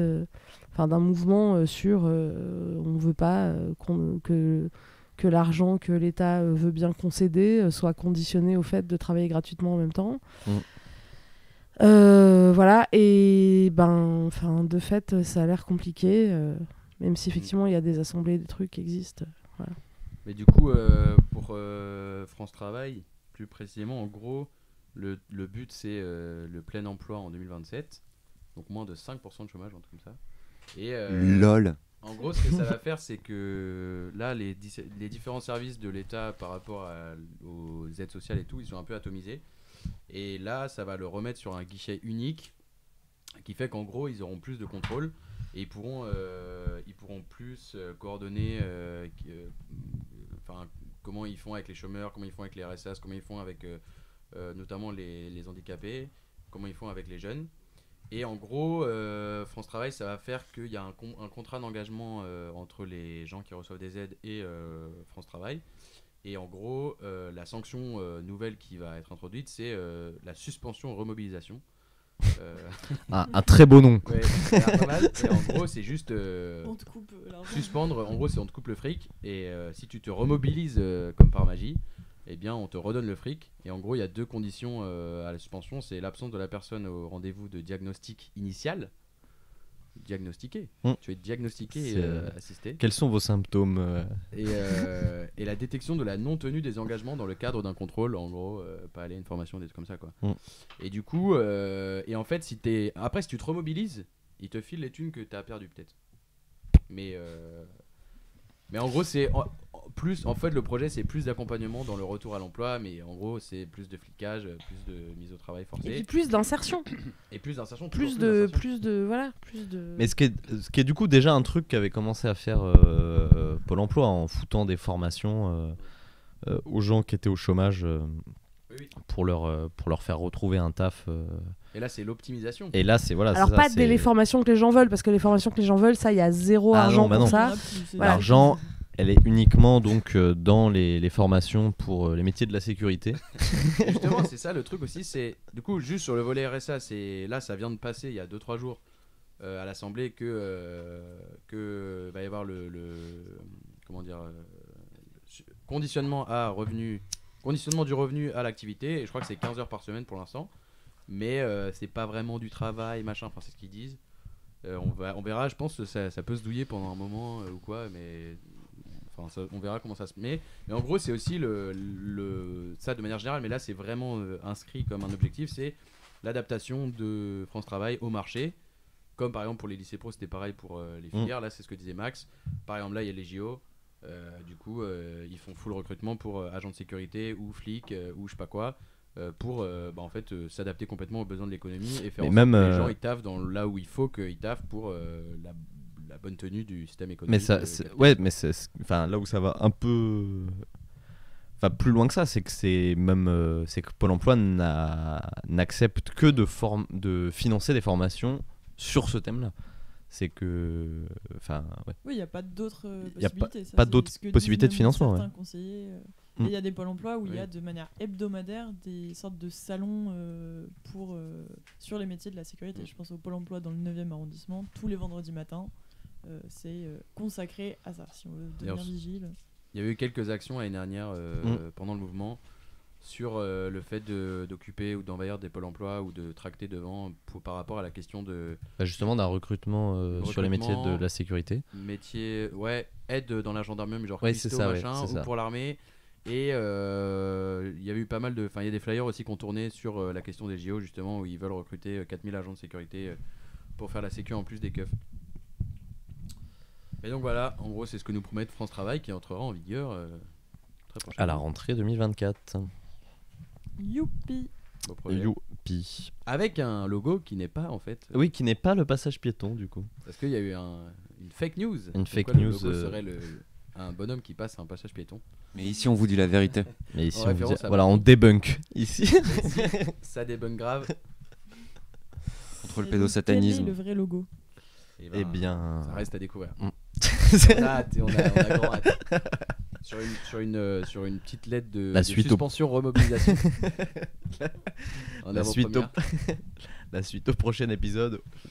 Ou dans C'est Hercule en train de chercher un travail. C'est ça. Qui fait ses 12 travaux. Il y a Pour pas Topor, faire Roland, suspendre. Roland Topor, il disait euh, 13e travaux d'Hercule, trouver un emploi. Et il a bien raison. Pour la blague, j'entendais il y a vraiment pas longtemps quelqu'un qui, lors de son deuxième entretien Pôle emploi, a eu le poste de conseiller Pôle emploi qui lui a été conseillé. Ah oui, alors moi ça me rappelle euh, une anecdote assez marrante. Mais euh, dans, dans ce délire-là. Donc inscription à une agence d'intérim euh, durant l'été et deux postes euh, principalement proposés. Des postes d'intérimaire euh, classiques. Boucher, gogo, danseur. Euh, non. Euh, pas assez de sous avec Radio Mad Max. Et non, euh, l'argent de l'argent des clubs de Et où va- contrebande. où va le- où va l'argent J'ai beau tuer le quartier en revendant des clopes. euh, On voit l'argent de tous nos auditeurs qui nous envoient euh, argent et or en, en espèces sonnantes et trébuchantes? eh bien, elle va, euh, elle va directement oui, dans les cigarettes.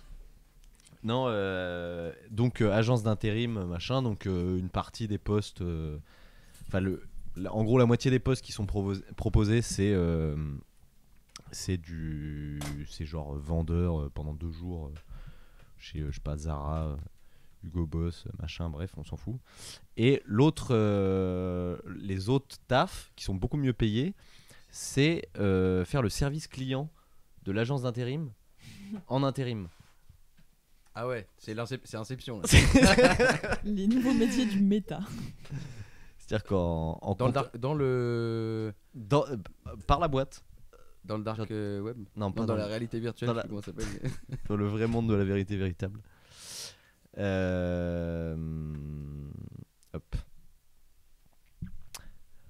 Euh, donc pour, euh, pour un peu introduire un peu plus un peu plus en fond cette discussion, on va lire donc un tract un tract qui nous vient tout droit des années euh, 80 euh, donc qui s'appelle Les chômeurs, c'est la classe. Et donc qui vient de d'un journal donc qui s'appelle Cash. D'un journal donc qui s'appelle Cash, euh, qui est euh, un journal donc de chômeurs et précaires. En avoir ou pas, le froid tue, le chaud mou meurt, conseil gratuit. C'est ainsi ce qui est marqué sur la, couverture. Euh, donc Cash, c'est euh, donc ouais, un, donc un journal, euh, journal de chômeurs des années 80. Et donc, tac, hop, je vais commencer la lecture. Les chômeurs, c'est la classe. Chaque année, des dizaines de milliers d'emplois disparaissent. Plus que jamais, depuis que la gauche est au pouvoir, la bataille de l'emploi, entre guillemets, est une illusion perdue. La réduction du temps de travail, c'est très bien pour ceux qui en ont un. Pas pour nous. Les syndicats réclament des emplois, entre parenthèses, une fois salariés, pourquoi pas l'adhésion, qui ne peuvent exister. Et ils négocient à la baisse notre situation. Une vague de froid et la droite invente les nouveaux pauvres, comme pour faire oublier que nous l'étions déjà sous son règne. Et tout le monde de parler de nous, de parler pour nous. Nous en avons assez d'être pleins. Nous sommes nombreux et nous voulons être payés. La richesse sociale s'accroît sous nos yeux et grâce à nous, toujours disponible quand il le faut. De petits boulots en mission d'intérim et travail au noir. Nous sommes producteurs et pourtant nous sommes de moins en moins assurés d'avoir les moyens de vivre. La seule solution, parler et agir pour notre compte. Le fric que l'État distribue déjà, Sinon, bonjour le bordel. Et qu'il saura trouver, nous le voulons tous. Sans discrimination, sans contrôle en échange. Pas en bon rationnement ou en baguette de pain. De l'argent comme tout le monde. Les emplois disponibles? Flics, matons, vigiles, armement et autres schtroumpferries, non merci. Ces travaux, comme d'autres, sont parasites, nuisibles et même suicidaires. Nous ne voulons pas les prendre et encore moins les partager. Nous avons d'autres choses à faire, de ces activités utiles pour nous, pour tous, que l'État, les patrons ne songent même pas à rétribuer. Autre chose que des tucs de misère pour tous ceux qui tentent de survivre hors des rapports salariaux. Autre chose à vivre Les TUC, faut peut-être expliquer, c'était le- les emplois euh, jeunes. euh, Enfin, il y a eu plusieurs versions. Le TUC était euh, une des versions des euh, formes d'emploi euh, des jeunes subventionnés qui était supposée aller avec le fait que bah, il n'y a pas de revenus euh, quand, les, quand on est jeune. Et du coup, C'est aussi euh, des biscuits. Et du coup, euh, c'est aussi des biscuits. voilà. Et du coup, il y a eu un gros mouvement euh, voilà, sur l'histoire de TUC, puis d'emploi jeune. Et puis voilà, et c'est encore ça qui se passait pendant la loi travail. Je me souviens plus comment, comment quand ils s'appelaient les trucs euh, d'emploi jeune là, mais c'était euh, toujours le même euh, projet qui se renouvelle quoi. C'est des formes d'apprentissage, quoi, en gros, à l'époque? C'est les attrapes jeunes. C'est des formes d'emploi qui sont euh, qui sont exprès pour les jeunes, qui sont euh, pas des temps pleins et qui sont à des taux horaires euh, dégueulasses et qui euh, voilà. Ok. Comme des services civiques, quoi. Ouais, un peu, un peu plus payé quand même que des services civiques, je pense. Mais un peu dans le genre. Ok. Euh, autre chose à vivre que la prison comme menace permanente. Une galère où croupissent et crèvent 110 000 d'entre nous chaque année. Autrement que coincés en famille ou mal logés face à des appartes hors de prix qui nous sont interdits. Plus que ce revenu pour chacun, nous voulons aussi, et il faudra bien le donner, du fric pour nos activités collectives. Crèches sauvages, musique, vidéo, Mhm. etc. Et toutes ces choses qui restent à imaginer, à concrétiser. Il nous faut nos propres lieux pour y inventer une vie que le travail est loin de permettre. Notre socialisation particulière, ces activités culturelles, sociales, productives, plus utiles que bien des emplois actuels, l'État doit en payer le prix. Revenu garanti, 2 points, 2 tiers du SMIC minimum pour tous, pour une maison des précaires à Paris, et c'est signé l'Association des précaires, rue des 5 Diamants, dans le 13e. Bon, je pense qu'il y a pas mal à discuter autour de ce tract. Euh, Peut-être juste pour recontextualiser, je sais pas si vous l'avez dit, mais il date d'une époque où euh, les syndicats n'ont pas de section chômeurs, par exemple. Il n'y a pas de CGT chômeurs. Euh, à la CGT, les chômeurs, ils sont dans la branche du travail dont ils sont chômeurs. Donc les chômeurs sont des travailleurs sans emploi et euh, ils doivent euh, euh, vouloir un CDI dans la branche en question. Voilà, donc ça fait partie ben, de, l'autonomie, ces formes d'organisation, de prise en compte ou d'organisation autour de la question de de bah, pas se considérer comme travailleur sans emploi, mais de critiquer le travail et ses conditions. Euh, après, euh, là, on est dans un secteur particulier de l'autonomie en question, qui est euh, le, secteur qui a à la fois, à mon avis, et c'est là qu'on peut commencer à discuter, le plus sérieusement critiqué la question du travaillisme et le plus sérieusement pris en compte le fait que les aides d'État sont... Enfin, l'État donne des aides euh, comme ils disent, sinon ce serait trop le bordel, euh, mais que ces aides sont toujours con- conditionnées à du contrôle, à de la soumission, à euh, des petits bouts de travail, machin, etc. etc. Ensuite, quand tu auras quand tu auras le RMI puis le RSA, ben, ils seront interdits au moins de 25 ans, plus ben, de plus en plus conditionnés à des formes de contrôle et de, et de travail, mais dès le départ en fait. Sauf voilà. si un jeune a travaillé plus de 2000 heures. Voilà, donc c'est eux qui prennent le plus euh, au sérieux cette question-là, mais après, euh, euh, ce- ce- ce- cette prise au sérieux va avec le fait de parier ou de vouloir construire une manière de s'organiser autour de la revendication d'un revenu garanti, donc qui serait sans contrôle, etc. Ce qui là peut ouvrir des tas de discussions, puisque on peut dire que c'est irréalisable, euh, au sens où euh, demander un revenu garanti à l'État, bah, c'est forcément demander du contrôle de fait. On pourra développer cette euh, critique-là, avec laquelle moi, par ailleurs, j'ai des désaccords, mais bon, qui est une critique intéressante. Et puis, par ailleurs, dans le texte, moi, je trouve que toute la question sur le travail utile et le fait de dire on veut de l'argent parce qu'on est productif, moi, c'est ce raisonnement-là que je trouve comme s'il était déjà dans une forme de négociation, euh, alors que euh, le refus du travail euh, peut se faire sur un rapport de force qui n'est pas en train de négocier le fait que quand on squatte, on repeint les murs et que ça, on veut que l'État le rémunère de fait. Enfin, Il y a un problème avec ce, je trouve, avec ce, ce- cette espèce d'articulation-là, quoi. Bah, qui du coup en tension donne la CGT chômeur quoi. En gros. donne assez plutôt en vrai Ouais. parce que la CGT chômeur c'est un peu une absurdité hein. enfin la CGT chômeur c'est un peu l'obligation de la CGT de se faire au fait que euh, l'ouvrier moustachu il y en a plus tant que ça et que euh, Merde, il y a des chômeurs. et qu'il y a beaucoup, C'est aussi quelque chose de très concret. chômeurs. C'est qu'à un moment, il y a, il y a y a eu des manifs de chômeurs qui n'avaient rien à voir avec le mouvement des chômeurs et que la CGT avait envie d'en être. Donc ils ont créé la CGT chômeurs parce qu'il y avait assez, il y avait Action contre le chômage. Mais objectivement, la CGT chômeur est un peu contradictoire avec le, le fond de. D'ailleurs, il y a des conflits entre la CGT chômeur et la CGT euh, et, la- les, et les- et les- et les syndicats et la centrale euh, CGT qui est quand même euh, Et par ailleurs, euh, c'est un, faite avec du travaillisme. c'est un repère de Badiousiens. La CGT chômeur. Ça, je je sais pas cette info. De, de disciples de Alain Badiou. Le FDP. Maoïste, euh, sectaire. Euh, ouais. Et pas encore mort. Donc moi je dirais plutôt la paye c'est la et la et, et- et assez quoi. Enfin les organisations euh, vraiment de chômeurs. euh, voilà. Donc je pense que c'est intéressant à discuter. Voilà. Tout ça, ces questions-là. Est-ce que on- on- est-ce que le- ça veut dire quoi demander la rémunération d'un travail qu'on ferait qui serait utile? Enfin ça rejoint aussi toute cette question qui n'est jamais je trouve, traité de manière satisfaisante sur euh, euh, la libre activité, entre guillemets, sur euh, euh, est-ce que pour euh, rester libre, euh, il faut faire son activité euh, sans euh, en tirer de l'argent moi, je comprends même pas en Euh, fait. C'est-à-dire, l'idée euh, concrètement, elle se manifeste comment? C'est-à-dire que les gens, ils font des. Je sais pas, par exemple, ils, réparent leur tuyauterie et après, ils envoient une note de frais à l'État? Ou ça- à l'URSSAF?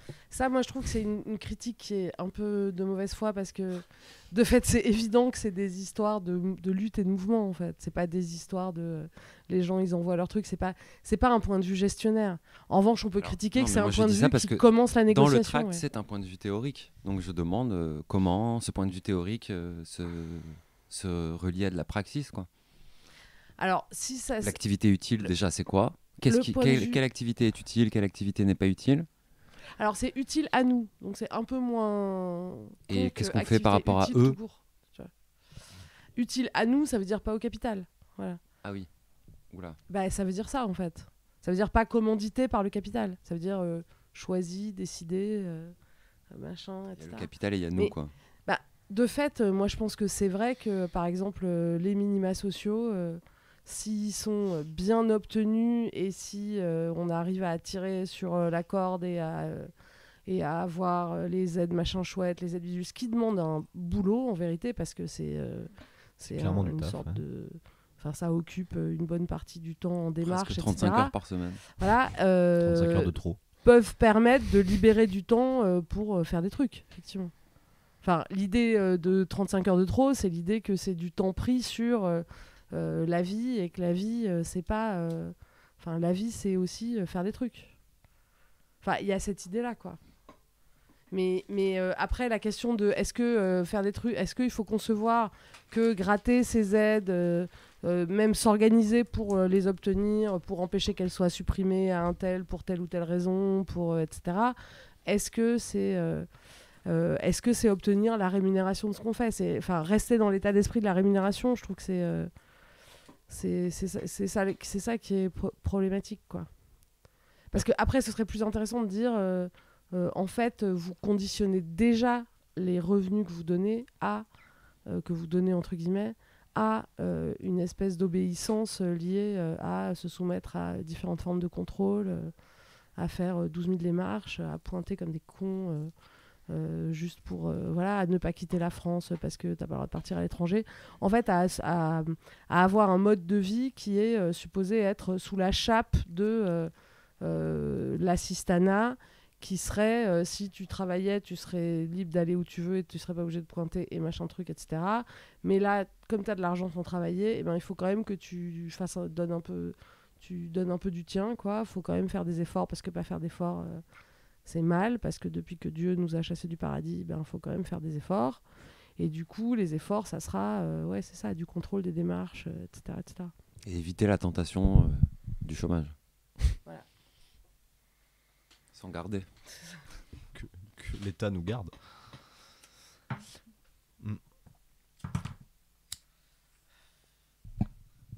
En tout cas, globalement, il y a le truc de pas vouloir se faire considérer comme euh, désassisté. C'est-à-dire pas besoin, pas, pas vouloir demander plus, euh, plus euh, d'assistanat, quoi. Que la question c'est pas euh, plus d'assistanat.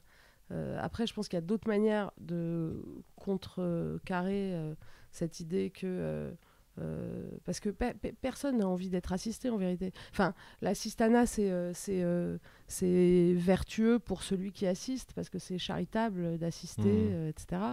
Mais évidemment, avec le discours de l'assistanat, va le fait que faut apprendre à pêcher et pas donner des poissons, euh, je sais pas quelle connerie, euh, machin chouette. et du coup, ben, il faut euh, sortir de. euh, on va pas tout va pas tomber tout cru, euh, machin chouette. Et, et, et- et du coup, faut sortir de cette situation. Faut euh, rester humble. Faut rester, faut rester humble. Face à la que- tâche. Et là, ce qu'il dit, c'est, enfin, là, ce qui est dit en soi, c'est un peu genre euh, le capitalisme s'appuie sur nous aussi. Oui. Et du coup, on mérite un truc dans cette euh, part de toute la richesse qui est gagnée. Du coup, on n'est pas assisté. S'ils nous filent des thunes, ben, en fait, en vrai, c'est normal. Mais, mais, ça, mais, mais ça va avec, euh, en plus, euh, on, ça serait, il y, a quand même l'idée que ce serait presque chiffrable, quoi. Il y a, y oui. l'idée que ça serait rémunérable en termes de temps, de machin, de trucs. on- Ce qui tout de suite sort très vite de la libre activité. On Quoi. oublie un truc, c'est que les gens qui parlent d'assistanat, en général, c'est pour parler de fraudeurs. Oui. En général, c'est euh, un discours policier. Le Mm. discours sur l'assistanat, c'est un discours policier sur euh, qui profite trop de l'assistanat, l'abus, etc. discours sur l'abus. Et par exemple, dans l'actualité en ce moment, moi, je- j'ai regardé vite fait pour euh, avant l'émission, j'ai tapé assistanat dans Google Actualité. Les, les nouvelles, c'est que euh, il y a Ah, je- tous les tips de Radio Man Max. je sais plus, Attends, 500 là, ou tu es en 700 train de télé- dévoiler toutes nos sources, là. 500 ou 700 téléphones qui ont été donnés par une assoce proche d'Emmaüs à des sans-papiers, enfin à des, à des sans-papiers à, à Calais. Et, euh, des, et des téléphones euh, reconditionnés à, à 60 balles, quoi. Vraiment de la grosse merde pour, euh, de la grosse merde pour des gens qu'on méprise, quoi.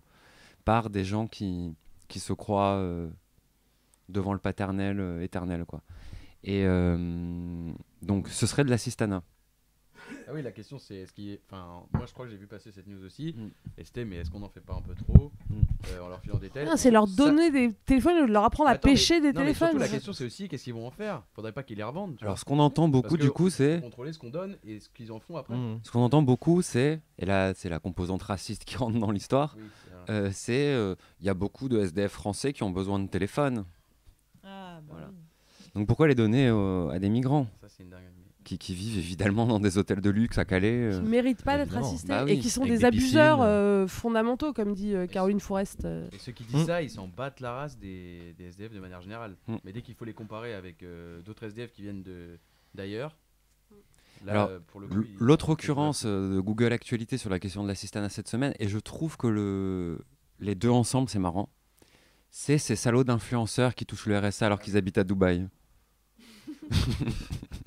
Non, et le truc très marrant, c'est le mec qui s'est fait. Bah, euh, force à lui d'ailleurs. hein. Mais c'est- Il y a un mec, euh, un youtubeur, euh, je sais plus comment il s'appelle, mais Bah, un, un random de ouf. un random de ouf, qui, qui a fait une vidéo pour dire euh, Moi je sors pas de chez moi, j'ai, j'ai, je cumule l'AH, la SS et les APL, je me fais 1800 net. euh. mais qui s'est fait balancer par des faf. Ah non, mais ils ont, ça a fait le buzz et après Ouais, ils ont mais fait un contrôle direct. Et comme pour l'influenceur voilà. qui a fait, euh, qui dit qu'il est au RSA alors qu'il habite à Miami, qu'il a des affaires sur le côté. euh, et bah, il s'est fait- enfin, dire- il, a, il y a eu un tweet genre, 25 minutes après de. euh, Celui qui de dit la 90% des Français font c'est ça. énorme, il dit C'est sûr 90%. que les gens ont envie de le lyncher, quoi. Attends, il dit 90% des Français sont au RSA. Le- la personne qui l'interviewe lui dit euh, Non, mais tu peux pas dire ça. Il fait Ok, 40%. Mais il enlève 50%, genre comme ça. Mais du coup, il s'est fait. Il s'est fait euh, Mais en fait, c'était un mytho lui aussi, mais bref. Mais. euh, c'est Du coup, il y a cette composante. C'est ça, il y a cette composante-là qui est importante, qui est policière, quoi, qui, est, euh, qui profite, qui. euh, voilà. Mais qui va qu'avec les aides sociales, du coup, se... sont toujours, enfin, elles sont toujours conditionnées à un contrôle. euh, Et c'est pour ça qu'à mon avis, les initiatives les plus intéressantes. euh, Mais c'est marrant que ça n'existe pas dans le discours de l'extrême droite et tout, quoi, ça. Mm. C'est-à-dire que l'extrême droite ne voit jamais. Enfin, l'extrême droite parle de, la, de, de comme d'un truc où, par exemple, les, les immigrés viendraient en France, ils feraient plein d'enfants pour avoir des, alloc- des allocations familiales, etc. À aucun moment il existe que les allocations familiales, ben, ça a un prix, que le RSA, ça a un prix, que c'est des rendez-vous insupportables à Pôle emploi. Et que c'est pas la fortune aussi. Ouais, bah oui, et puis surtout que c'est la galère, quoi. Que t'as Bah, pas un iPhone à gens 1000 qui ont euros quand t'es au RSA, ou alors ils ont des enfants à nourrir quoi. avec les allocations familiales, en fait, en général. Oui. Voilà. Et. euh, Après, ils abusent d'avoir plus d'enfants que les Français tendanciellement, donc c'est déjà ça l'abus, quoi, en fait. Mais en fait, il y a personne, euh, si tu regardes le spectre euh, institutionnel de la politique, et... enfin, tout le monde se met d'accord sur la question de l'assistanat quand même. Sur le fait que ouais. les abuseurs, c'est pas bien. Même euh, la gauche qui est en mode. euh, Même le front de gauche, droit la paresse, machin. même Mélenchon. Bah, Euh, Rousseau l'avait ouais. dit ça et tout, mais. Ils disent ça, mais tu vois, il faut pas non plus qu'il y en ait trop, machin. Mhm. Oui, il y a des. Alors ils disent oui, il y a des fraudeurs sociaux, c'est vrai, mais c'est rien par rapport aux fraudeurs Voilà, c'est ça, c'est c'est ça le discours Euh, général. machin et donc il faut se concentrer là-dessus plutôt que les autres mais c'est quand même pas bien les autres tu vois Mhm. Donc en fait ils sont un peu tous d'accord sur ça euh, Oui, y a personne c'est- qui est là en mode euh, c'est bien de gratter Bah, c'est ça le, ça. truc. À part, à part Radio Mad Max. À Radio Mad Max. C'est ça le D'ailleurs, truc. on gratte euh, plus ou moins tous. Hein, C'est ça quasiment. le truc. euh, Non, il y en a, il y il il en a qui travaillent. quoi? Il y en a qui travaillent, mais ils vont être virés. hein. Non, mais c'est ça le truc intéressant dans les. Il y a augmenté la SS. euh, dans les collectifs de chômeurs qui se montent dans l'autonomie et tout ça, c'est l'idée que de diffuser que la gratte c'est bien, euh, y compris en diffusant des trucs pour gratter, euh, euh, des trucs pour euh, échapper au contrôle, euh, des trucs pour euh, pour euh, obtenir, pour garder son RSA quand on est étudiant ou son RMI, puisqu'à l'époque c'était un problème, je sais plus, si c'est un, un problème encore aujourd'hui. Si, c'est- non c'est le même le chômage c'est ça aussi quand t'es étudiant t'as pas le chômage Voilà. Bah, c'est tout à fait normal. Voilà, des trucs.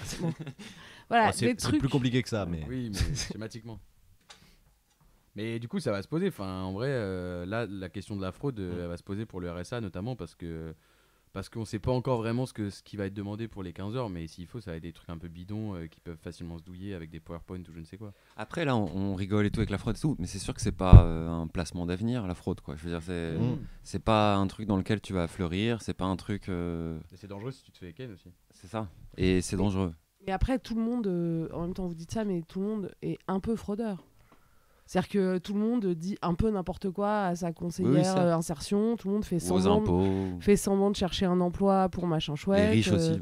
Oui, les riches aussi par ailleurs, mais, mais surtout les pauvres, et tant mieux, quoi, en fait. Ouais.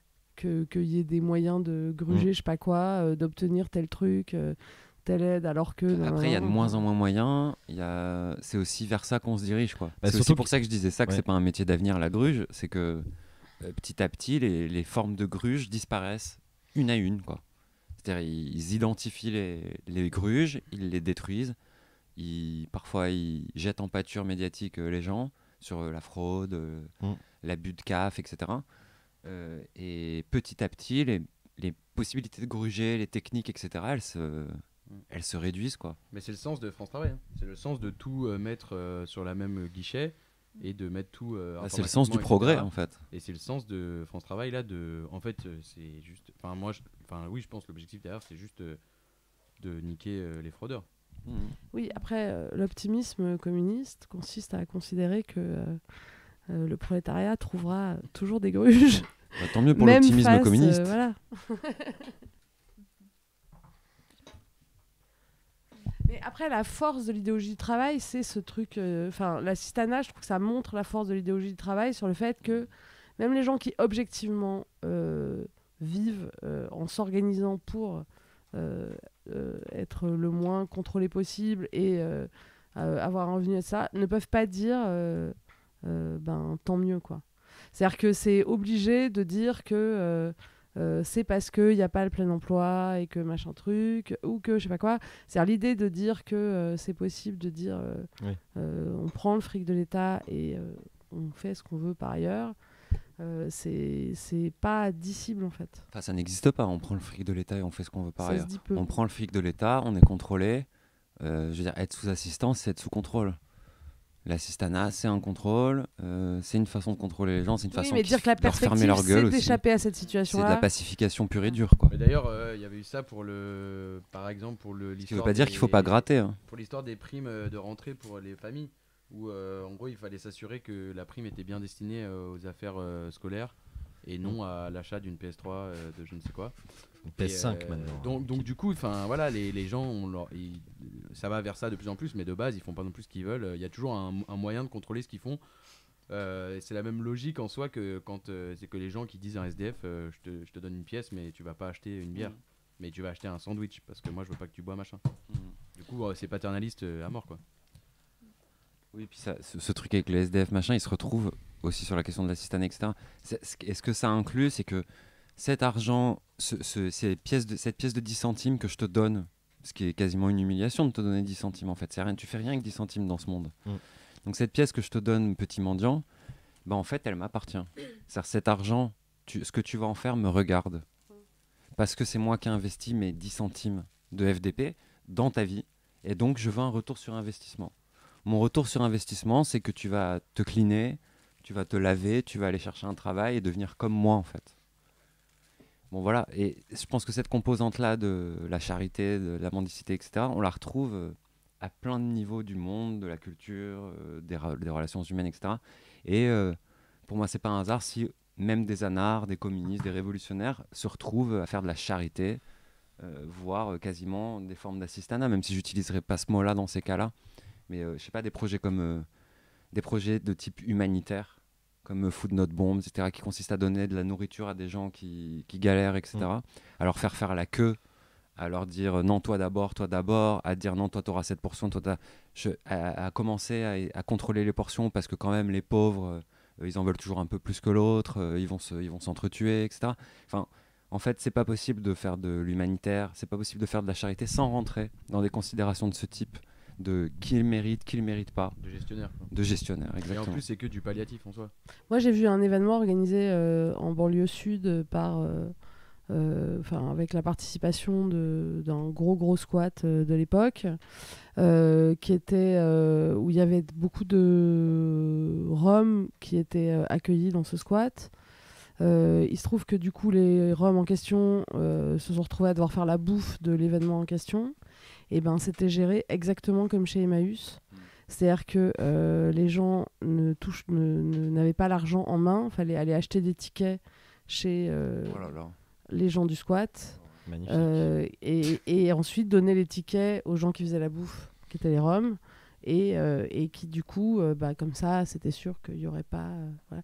Mais c'est ça, transformer les gens en assistés, effectivement. C'est c'est, euh, c'est, euh, enfin, c'est ça, assister, quoi. Tu as raison sur le retour sur investissement, c'est le contrôle sur la vie euh, des autres. Et, C'est- euh, C'est mettre les- la personne dans une toile d'araignée, Mais euh, le truc pour qui sûr. va avec ça beaucoup dans le discours, c'est euh, c'est que généralement le discours de- d'assistanat, il va avec le fait que euh, bah, ce retour sur investissement, enfin quand les gens ils touchent des aides, etc., c'est que c'est les impôts des gens qui financent directement euh, ces trucs d'aide sociale, le contribuable, du coup. il Oui, le, mythe de la, le mythe ça. de l'argent qui revient, qui nous appartient, qui, qui, qui- qui nous appartient après sa, sa dépense. Mm. C'est ce mythe-là. Et tout le monde aurait un contrôle sur. euh, tout le monde aurait un contrôle euh, qui lui reviendrait de droit sur euh, ce que fait l'État en matière d'aide euh, aux, euh, aux assistés, du coup. Mhm. Euh, parce que c'est leur argent, parce qu'on paye les impôts, machin. machin. Et De toute façon, on vit dans un monde où les gens pensent, beaucoup de gens pensent, où la gauche pense que euh, on va changer le monde en consommant différemment, en, etc. C'est-à-dire que Mm. en mettant notre argent dans des choses intelligentes, quoi. C'est-à-dire en investissant, en mettant son argent au bon endroit. Et je pense que c'est ça aussi la question de la fraude et de l'assistanat, c'est est-ce que l'argent va au bon endroit? Les gens veulent être assurés qu'il n'y a pas d'argent qui tombe des tuyaux, quoi. Mm. Alors que de l'argent qui tombe des tuyaux, il y en a tellement. la fraude fiscale, etc. C'est pas pour euh, faire le discours du front de gauche. Je veux dire, de l'argent Je qui. veux dire, c'est plutôt eux qu'il faut sanctionner. Non, non, mais c'est juste, c'est juste pour dire Ah non, qu'à tous les tu- endroits de la circulation de l'argent, Quand tu fais un il y a de, de- il y a- attends, il y a de l'argent qui tombe des tuyaux en fait. À tous les endroits de la circulation de l'argent. Quand tu te fais couler un bain de thunes et que tu as un problème de plomberie, bah il y a de l'argent qui coule des tuyaux. Mm. Bah, la semaine prochaine, on reçoit Pix- Picsou pour en parler.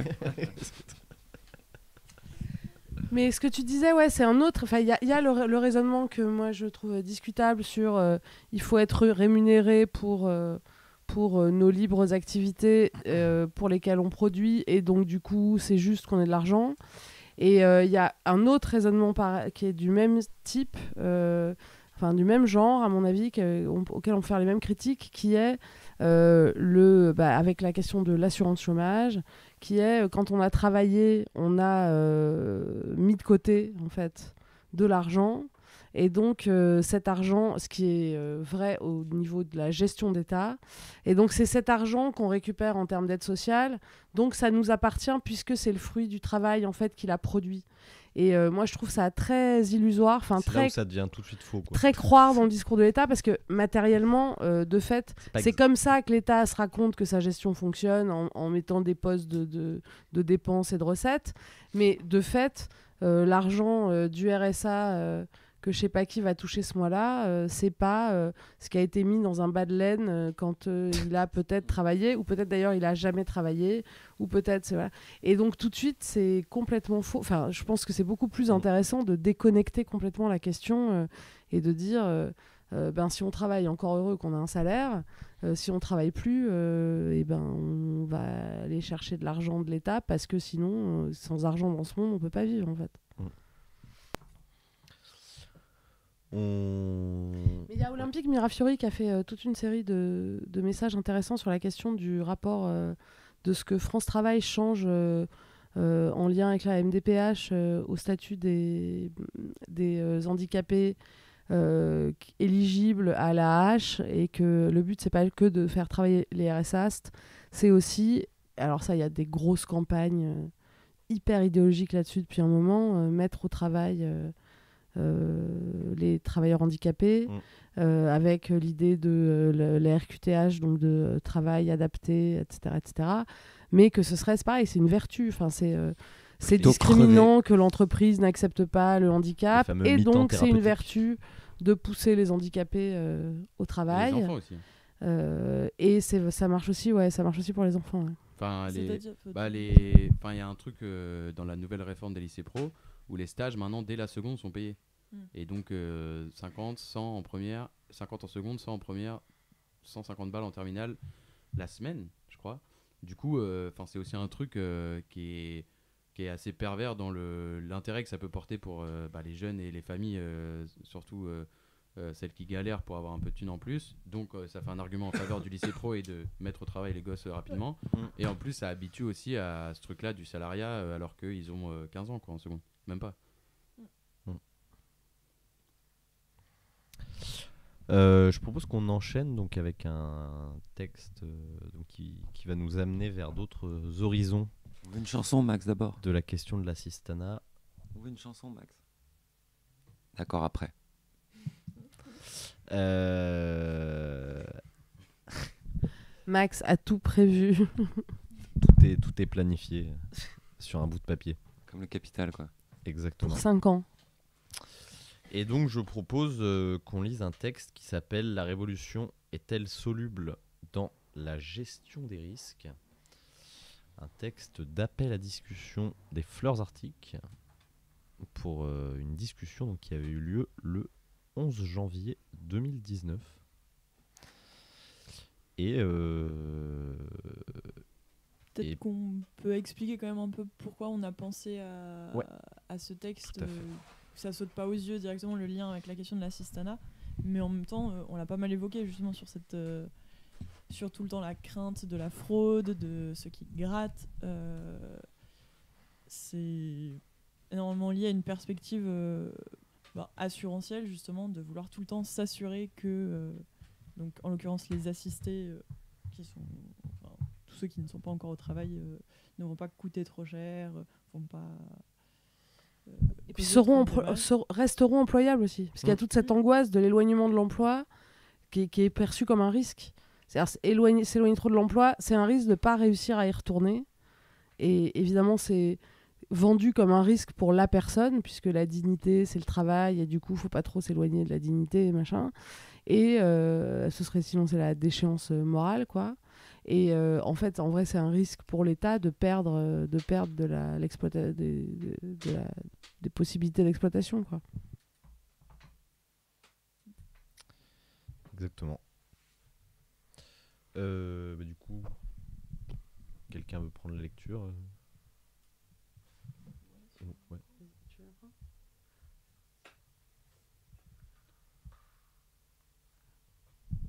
Puck. À la Puck, lecture. euh, à la Ouais, lecture. ça arrive. Puck au mic. Puck l'a fait. Ouais. Dans Berserk. Merde. Euh, Exactement. Ah non. Ah, non. Pas Puck. Eh bien, euh, Bon, bah, c'est- je c'est- peux rebondir. Ah. Si, C'est un cabri. Kill, euh, si Kill peut rebondir.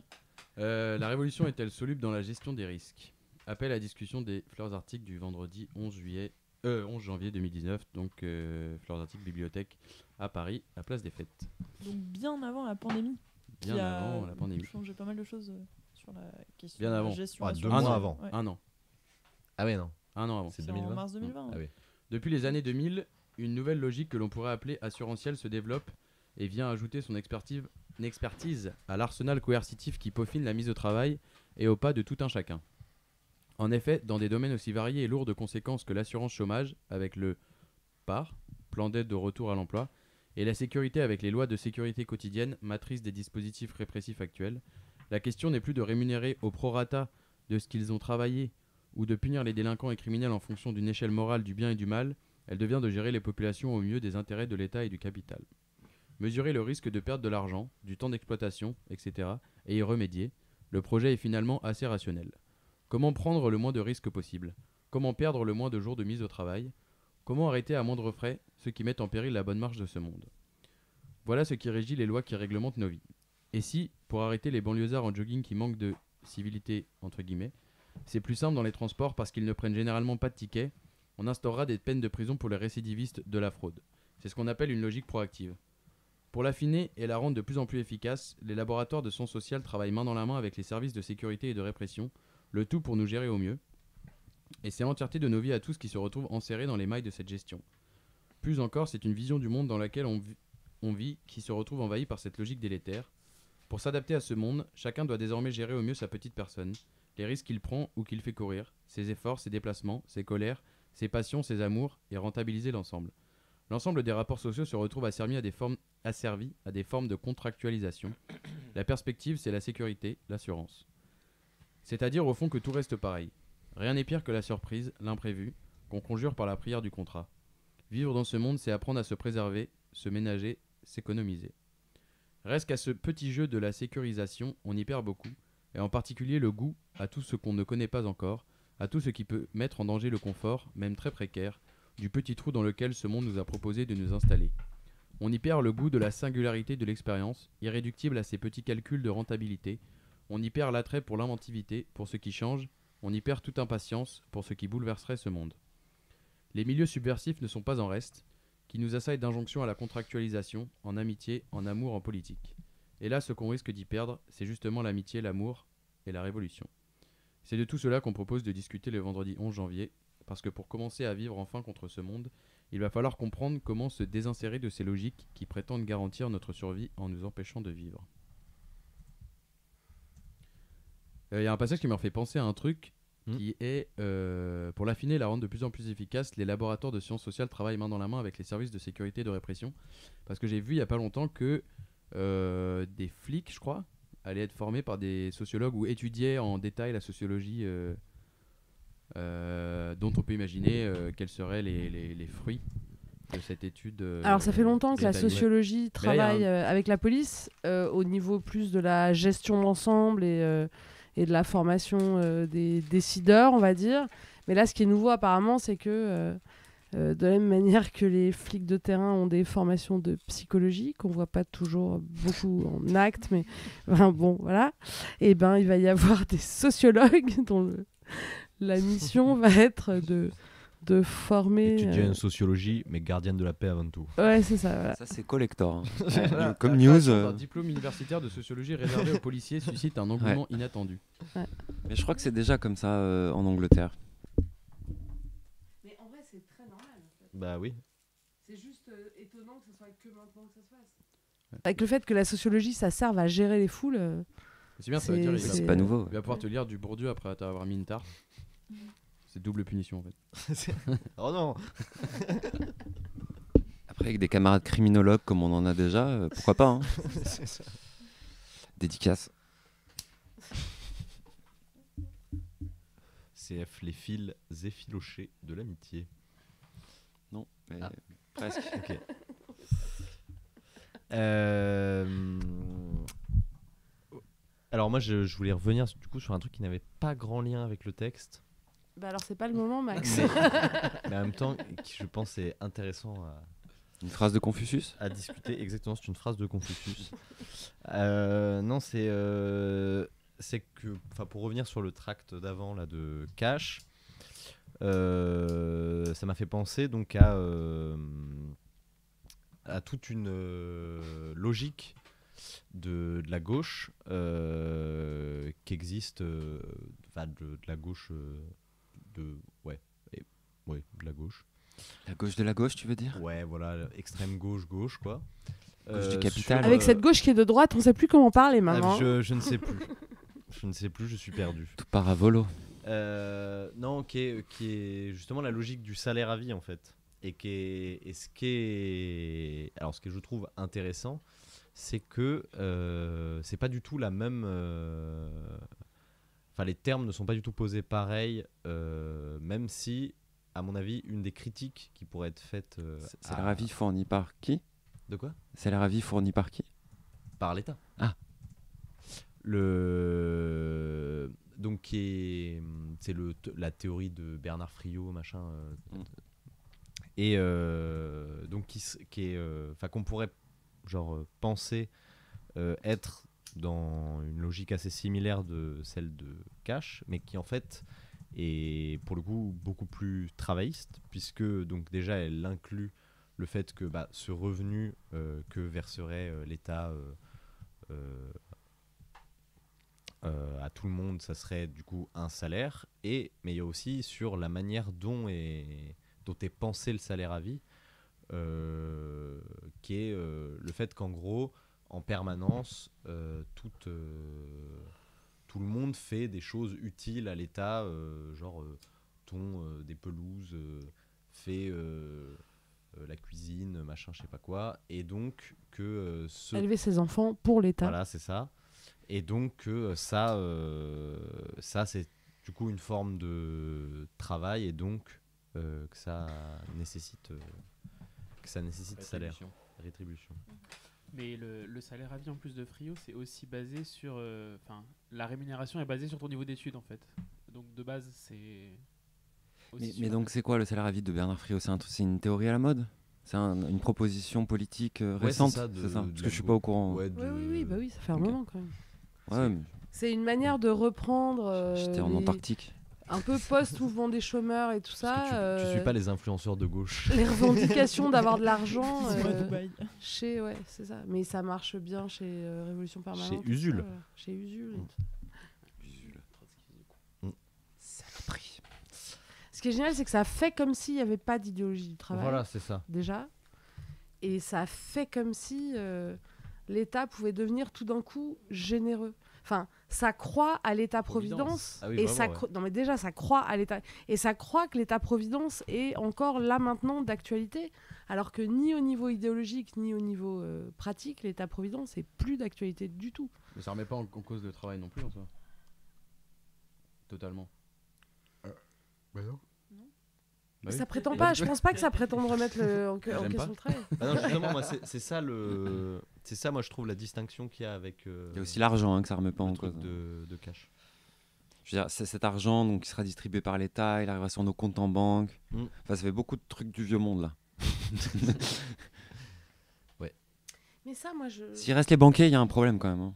Et évidemment, c'est une théorie gestionnaire, euh, mais ça, elle pourrait avoir sa version pas gestionnaire, euh, sa version de lutte, entre guillemets, mais ce serait quand même encore un problème euh, à cause de sa perspective de départ. quoi.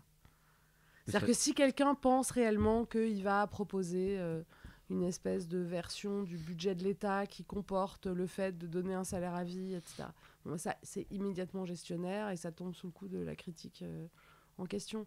Mais après, même s'il n'y a pas cet aspect-là, et même si c'est euh, euh, proposé comme une sorte de mot d'ordre de lutte, il y a le problème de- du rapport euh, au travail, quoi, du rapport au fait que c'est toujours un salaire donc en échange d'un travail, au fait que du coup ce serait presque pire parce qu'on devrait à chaque instant. euh, Voilà, c'est ça, c'est ça qui est euh, flippant, c'est que on serait assigné à chaque instant à être utile à l'État. C'est Enfin, c'est que- quand même ouais, fou de penser ouais, un truc pareil, quoi, parce que Mais au moins le- les ouvriers euh, de la révolution industrielle, ils sont utiles à l'État sur des horaires, quoi, même si c'est un nombre d'heures hallucinant par jour, quoi.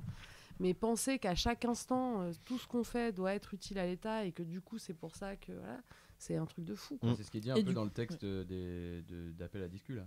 Enfin, ça parle du fait que si tout est Ah bah, du coup, ça lien. contractualisation, euh, non mais de fait que si tout, enfin si l'ensemble des rapports euh, sociaux de ce qu'on fait dans la vie se retrouve sous une forme de contractualisation, euh, ça, ça fait qu'on y perd le goût euh, de manière générale sur ce qu'on fait, euh, qui n'est pas euh, productif en tant que tel euh, dans ce que nous on pense. Après, tout ce qu'on fait est déjà utile au capital. Oui, oui, mais Et ça invite tout de suite à surveiller les voisins aussi, hein. vérifier que les autres aussi sont utiles.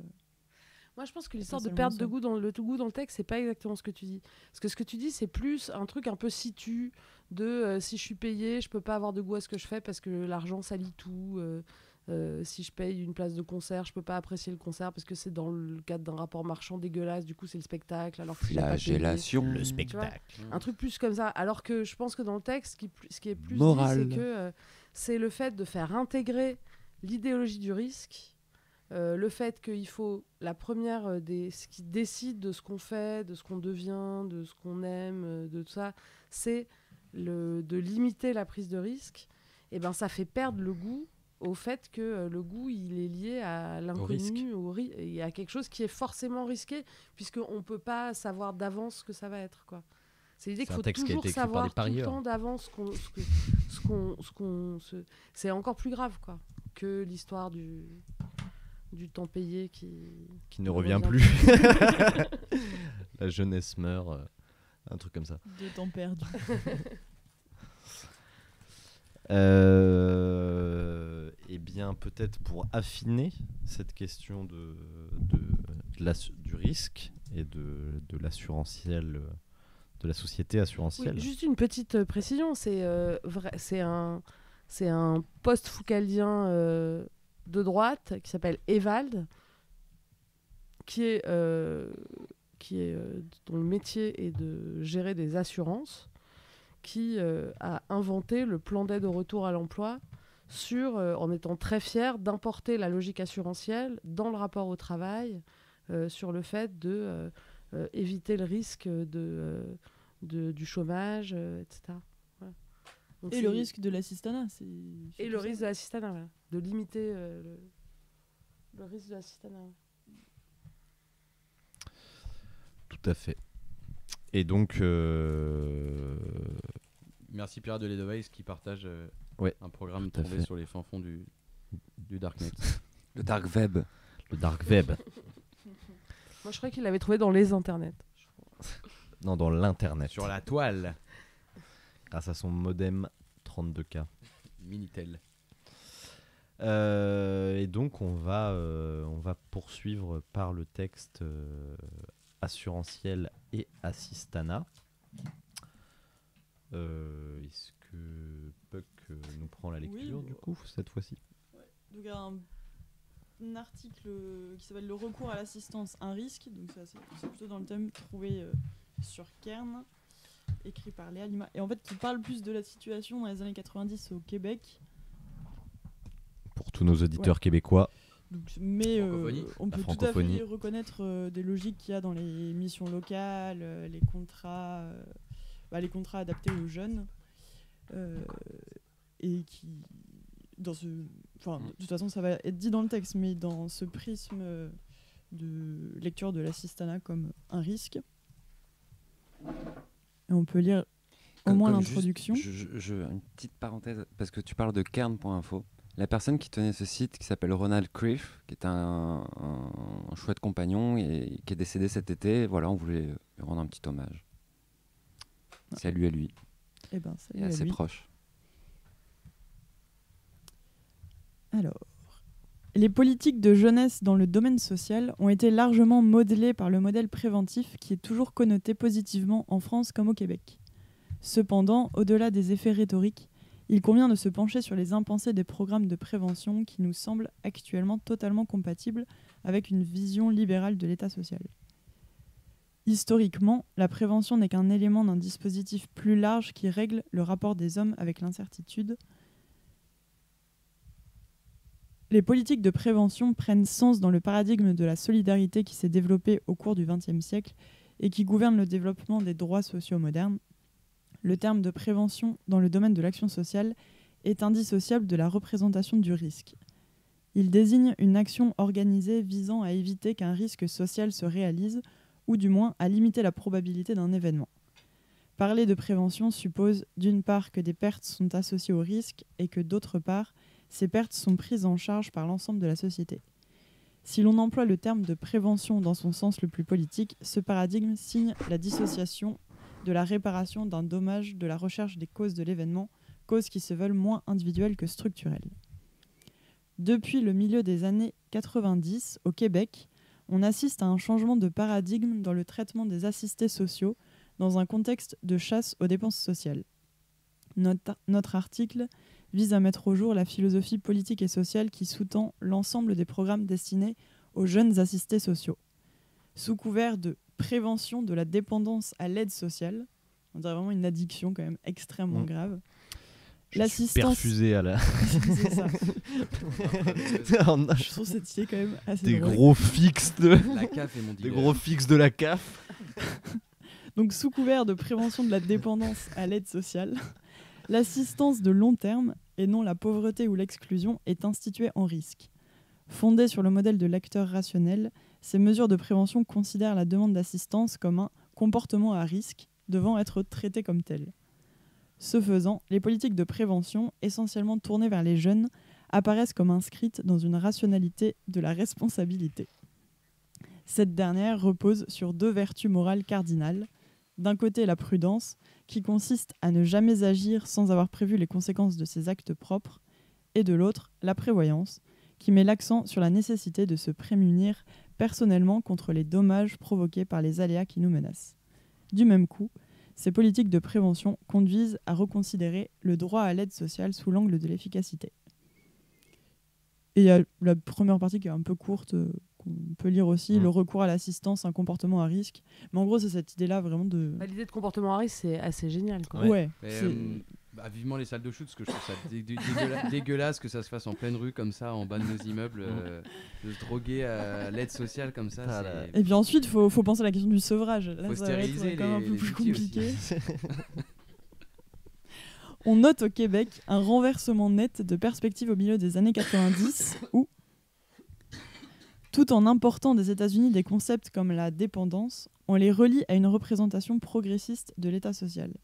On assiste alors à un double déplacement rhétorique qui peut se résumer au passage de la notion de péril de pauvreté à celle de risque de dépendance et à la mobilisation d'un paradigme de la responsabilité largement culpabilisant. Pour passer, du coup, c'est un mélange entre le de fraudeur et de, l'addict. de l'aide sociale. Alors non, euh, là cette fois-ci, on va vous, plutôt vous donner un, un chèque pour payer votre loyer et des tickets restaurants.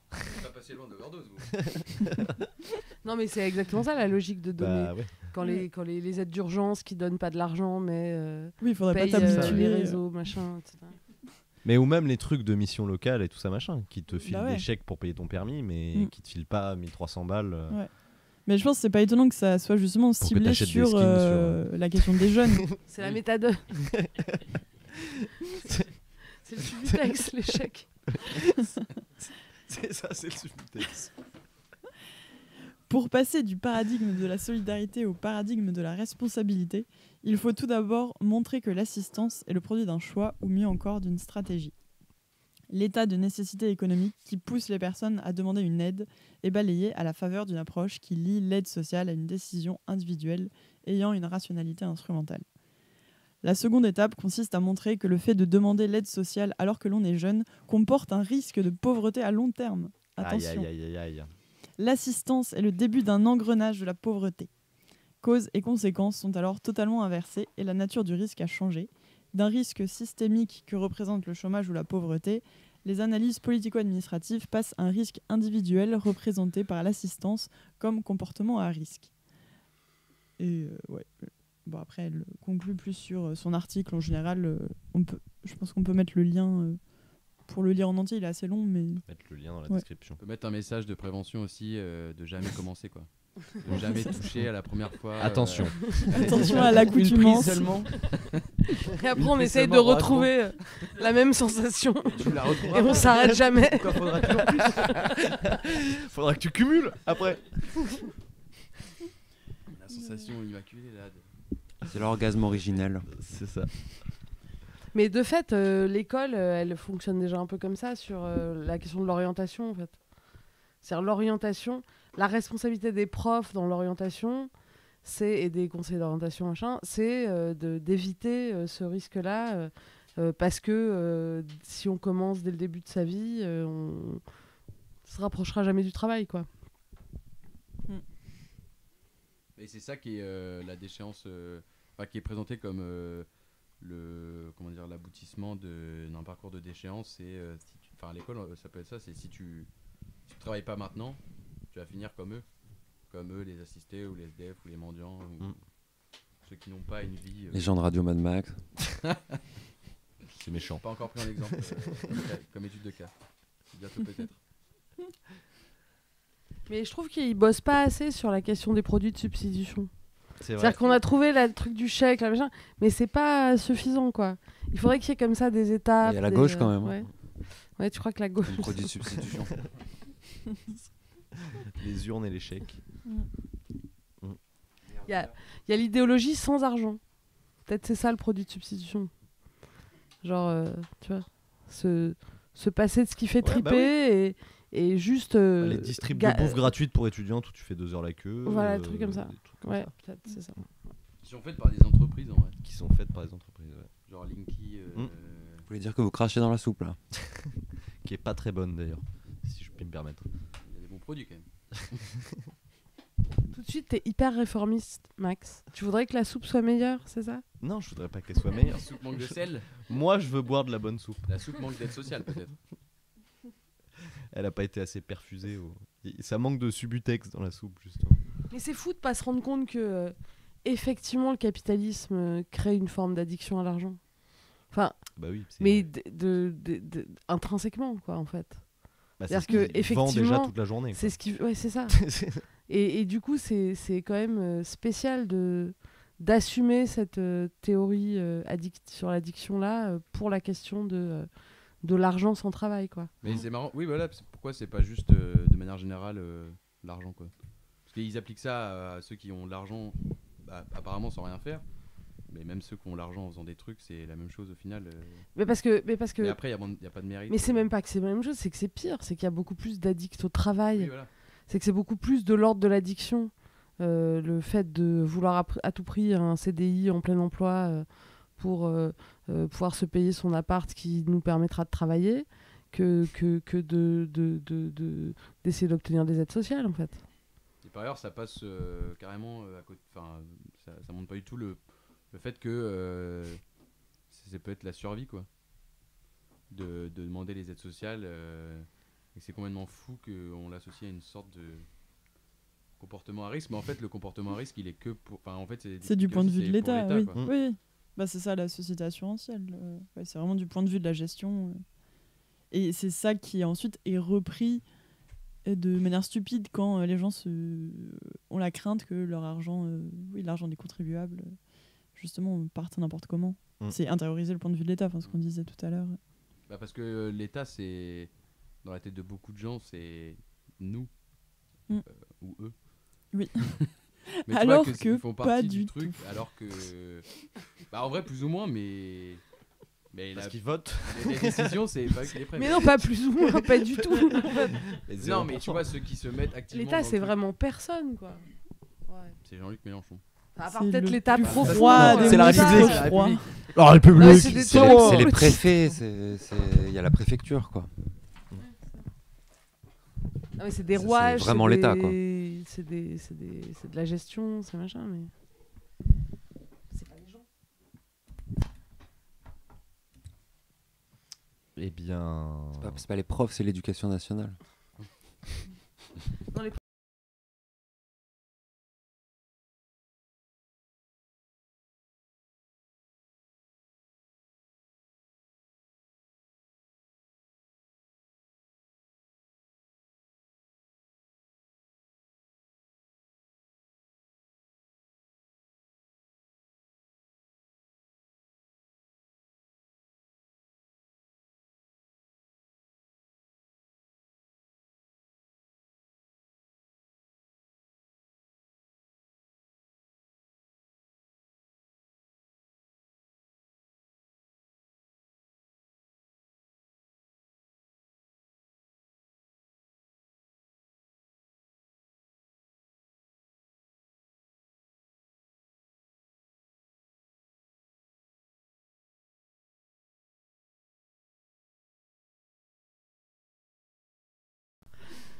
Vous Alors, êtes tous Est-ce qu'on est de retour? Je crois que oui. Allô? 1, 2, 1, 2. Un, Ok, deux, c'est bon. Qu'est-ce qu'on a Bravo. dit? C'est parce qu'on était Bah, trop subversif qu'on a été coupé. En, En fait, fait, l'État, plutôt nous a, nous a censuré. Bah, L'État Trop pas dangereuse qu'on disait. C'est plus de ça. C'est quand j'ai dit état profond, vous avez Ouais. remarqué. en fait, cette minute, on a dit toute la vérité sur le monde, mais on ça. pourra pas la répéter C'est le siècle oublié. C'est le siècle oublié dans One Piece. Et encore une fois, c'est les pédosatanistes qui gagnent. Exactement. Putain. Toujours les mêmes.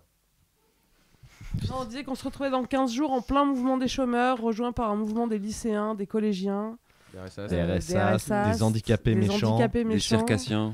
des voilà, euh, ouais.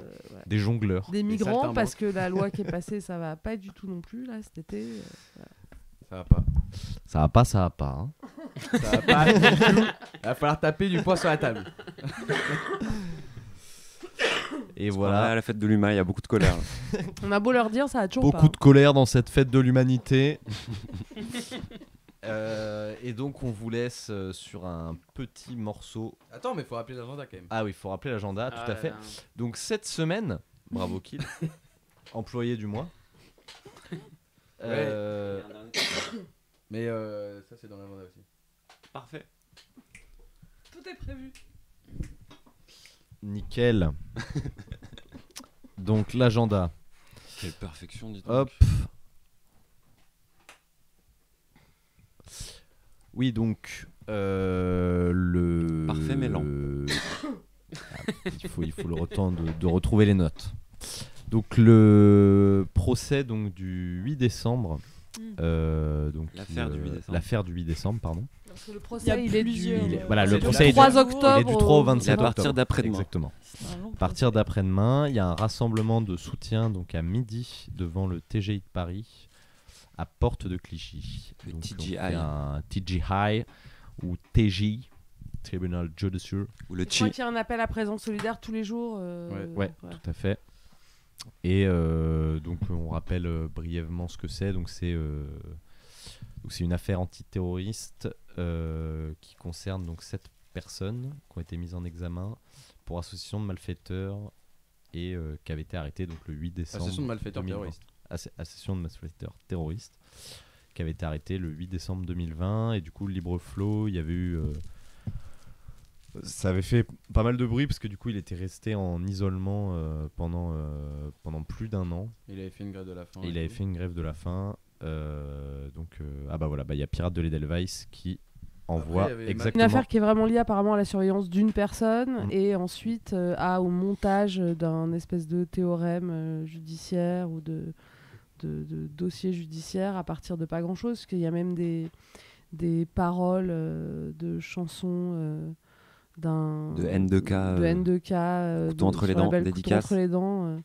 qui, euh, qui se retrouve dans le dossier comme euh, preuve Mm. de je ne sais pas Mm. quoi, parce que je vois pas trop de quelle preuve. euh, Ouais, apparemment, le dossier, Qu'est-ce que ça peut prouver des paroles de chansons, mais euh, donc le dossier, il a l'air vraiment euh, fait avec beaucoup de fumée, quoi.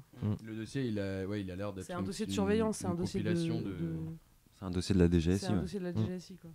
Et après, il y avait Matmat plus tôt dans la, dans- au début de l'émission qui demandait les horaires des séances, etc. Mais on peut pas euh, savoir, je crois. Mais juste c'est à partir de. 13h30, J'imagine euh, que c'est Bah 13h30 ouais, en vu que les général, appels 13h30, ouais. sont à midi, enfin les appels à Alors c'est sûr qu'il y aura une séance qui commencera. enfin, Il y a des séances qui commenceront à 13h30. Après, est-ce qu'il y a des séances aussi le matin et que les appels ont été à midi mais... Bah, faut aller le 3 à midi Ouais. et euh, vous Voilà, saurez tout. C'est ça. c'est ça. Et donc, il y a euh, un site que Pirate de l'Edelweiss a envoyé, donc qui s'appelle Soutien aux inculpés du 8 décembre. Et donc il y a un peu des textes euh, qui sont, euh, sont là-dessus. Et, c'est sûr que face à des, des, procédures comme celle-là, qui aboutissent à un procès, et vu comment le procès est fabriqué, etc., il y a besoin d'une solidarité un peu forte. Et, euh, Mm. et, euh, et voilà, parce que euh, c'est pas possible de laisser la DGSI surveiller la vie des gens. décider que euh, machin bidule chouette euh, sont euh, liés par on sait pas quoi qui justifie que ils se tapent des procédures infernales, une surveillance permanente, etc. Enfin, c'est faut, faut... Il y a besoin de solidarité forte par rapport à ces pratiques-là, quoi. Et sinon, euh, bah, pour l'instant, je crois que c'est tout, sauf si des gens ont des infos sur d'autres trucs qui pourraient se passer dans les deux prochaines semaines. À part euh, un truc euh, un peu obscur. euh. Sinon, vous pouvez aussi nous envoyer des choses pour qu'on en parle dans la prochaine émission. C'est vrai. Mais apparemment, le 14 octobre, il y a des trucs qui montent sur les réseaux, la flambée Il y a des la colères, flambée des colères. Ça m'a- tout l'air d'être euh, nébuleux ce truc-là. mais apparemment, c'est le retour du monde c'est une recette de tarte ou un truc comme ça Je crois qu'il faudra enfiler son plus beau gilet jaune. Et c'est un, énième retour. Énième retour de la vengeance. Mais bon, voilà. Et après, euh, comme on avait dit en début d'émission, il y a toujours le, des grèves dans les Emmaüs, etc. Donc, euh, Bah ça, on veut bien des retours aussi s'il y a des gens. euh, qui Oui, si des gens ont des voir. infos, et même sur les procès euh, liés aux émeutes euh, et au mouvement social. et au mouvement. euh, dernière. ouais. Ouais. Bah, en début de semaine, euh, on l'avait pas dit, mais il y a un manifestant du tout début du mouvement social qui s'était fait arrêter, qui avait deux chefs euh, d'inculpation, groupement et violence sur PDAP, qui a été relaxé. Donc euh, c'est super quand il y a des relax, ça peut arriver. Force à tous. En tout cas, on vous souhaite euh, de continuer à être assistés. Pas trop de pas trop d'aide sociale après 22 heures. hein, de ça manger des poissons hein. que vous n'avez peut-être pas pêché vous-même. Voilà, faites-vous bien perfuser.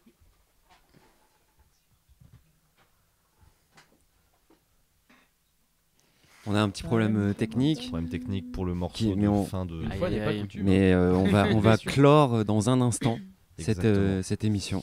Et restez bien jamais. parce que le Cette émission morceau biblique. Ah si, en termes de bah, ce qu'il y a euh, en ce moment, il y a le programme de la semaine de la folie ordinaire qui se déroule euh, sur un certain nombre de jours avec euh, des événements qui sont reliés à la question euh, du soin et ça finit sur une discussion qui sera c'est pas le week-end prochain mais le week-end d'après. Donc c'est organisé à la parole errante, mais il y a des événements qui sont pas à la parole errante. faut aller voir euh, sur euh, leur site pour avoir précisément euh, l'ensemble des événements qui peuvent être des projections, des discussions, des, ateliers, etc. Mais une discussion ouais, spécifiquement, il me semble que c'est vraiment la dernière sur euh, les luttes dans les lieux de soins. Donc euh, à la parole errante aussi. Je crois que c'est le dernier dimanche. euh. Faut regarder sur leur site le programme. Vous retrouverez tout sur le site de la parole errante.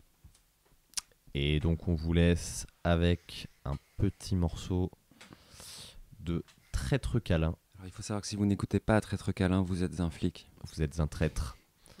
Et On fera pas de câlin. Et donc on va pas vous faire de câlin. donc qui Ils en, ont, ils en ont marre de cette blague, je pense. Peut-être. ouais. En même temps, ils cherchent.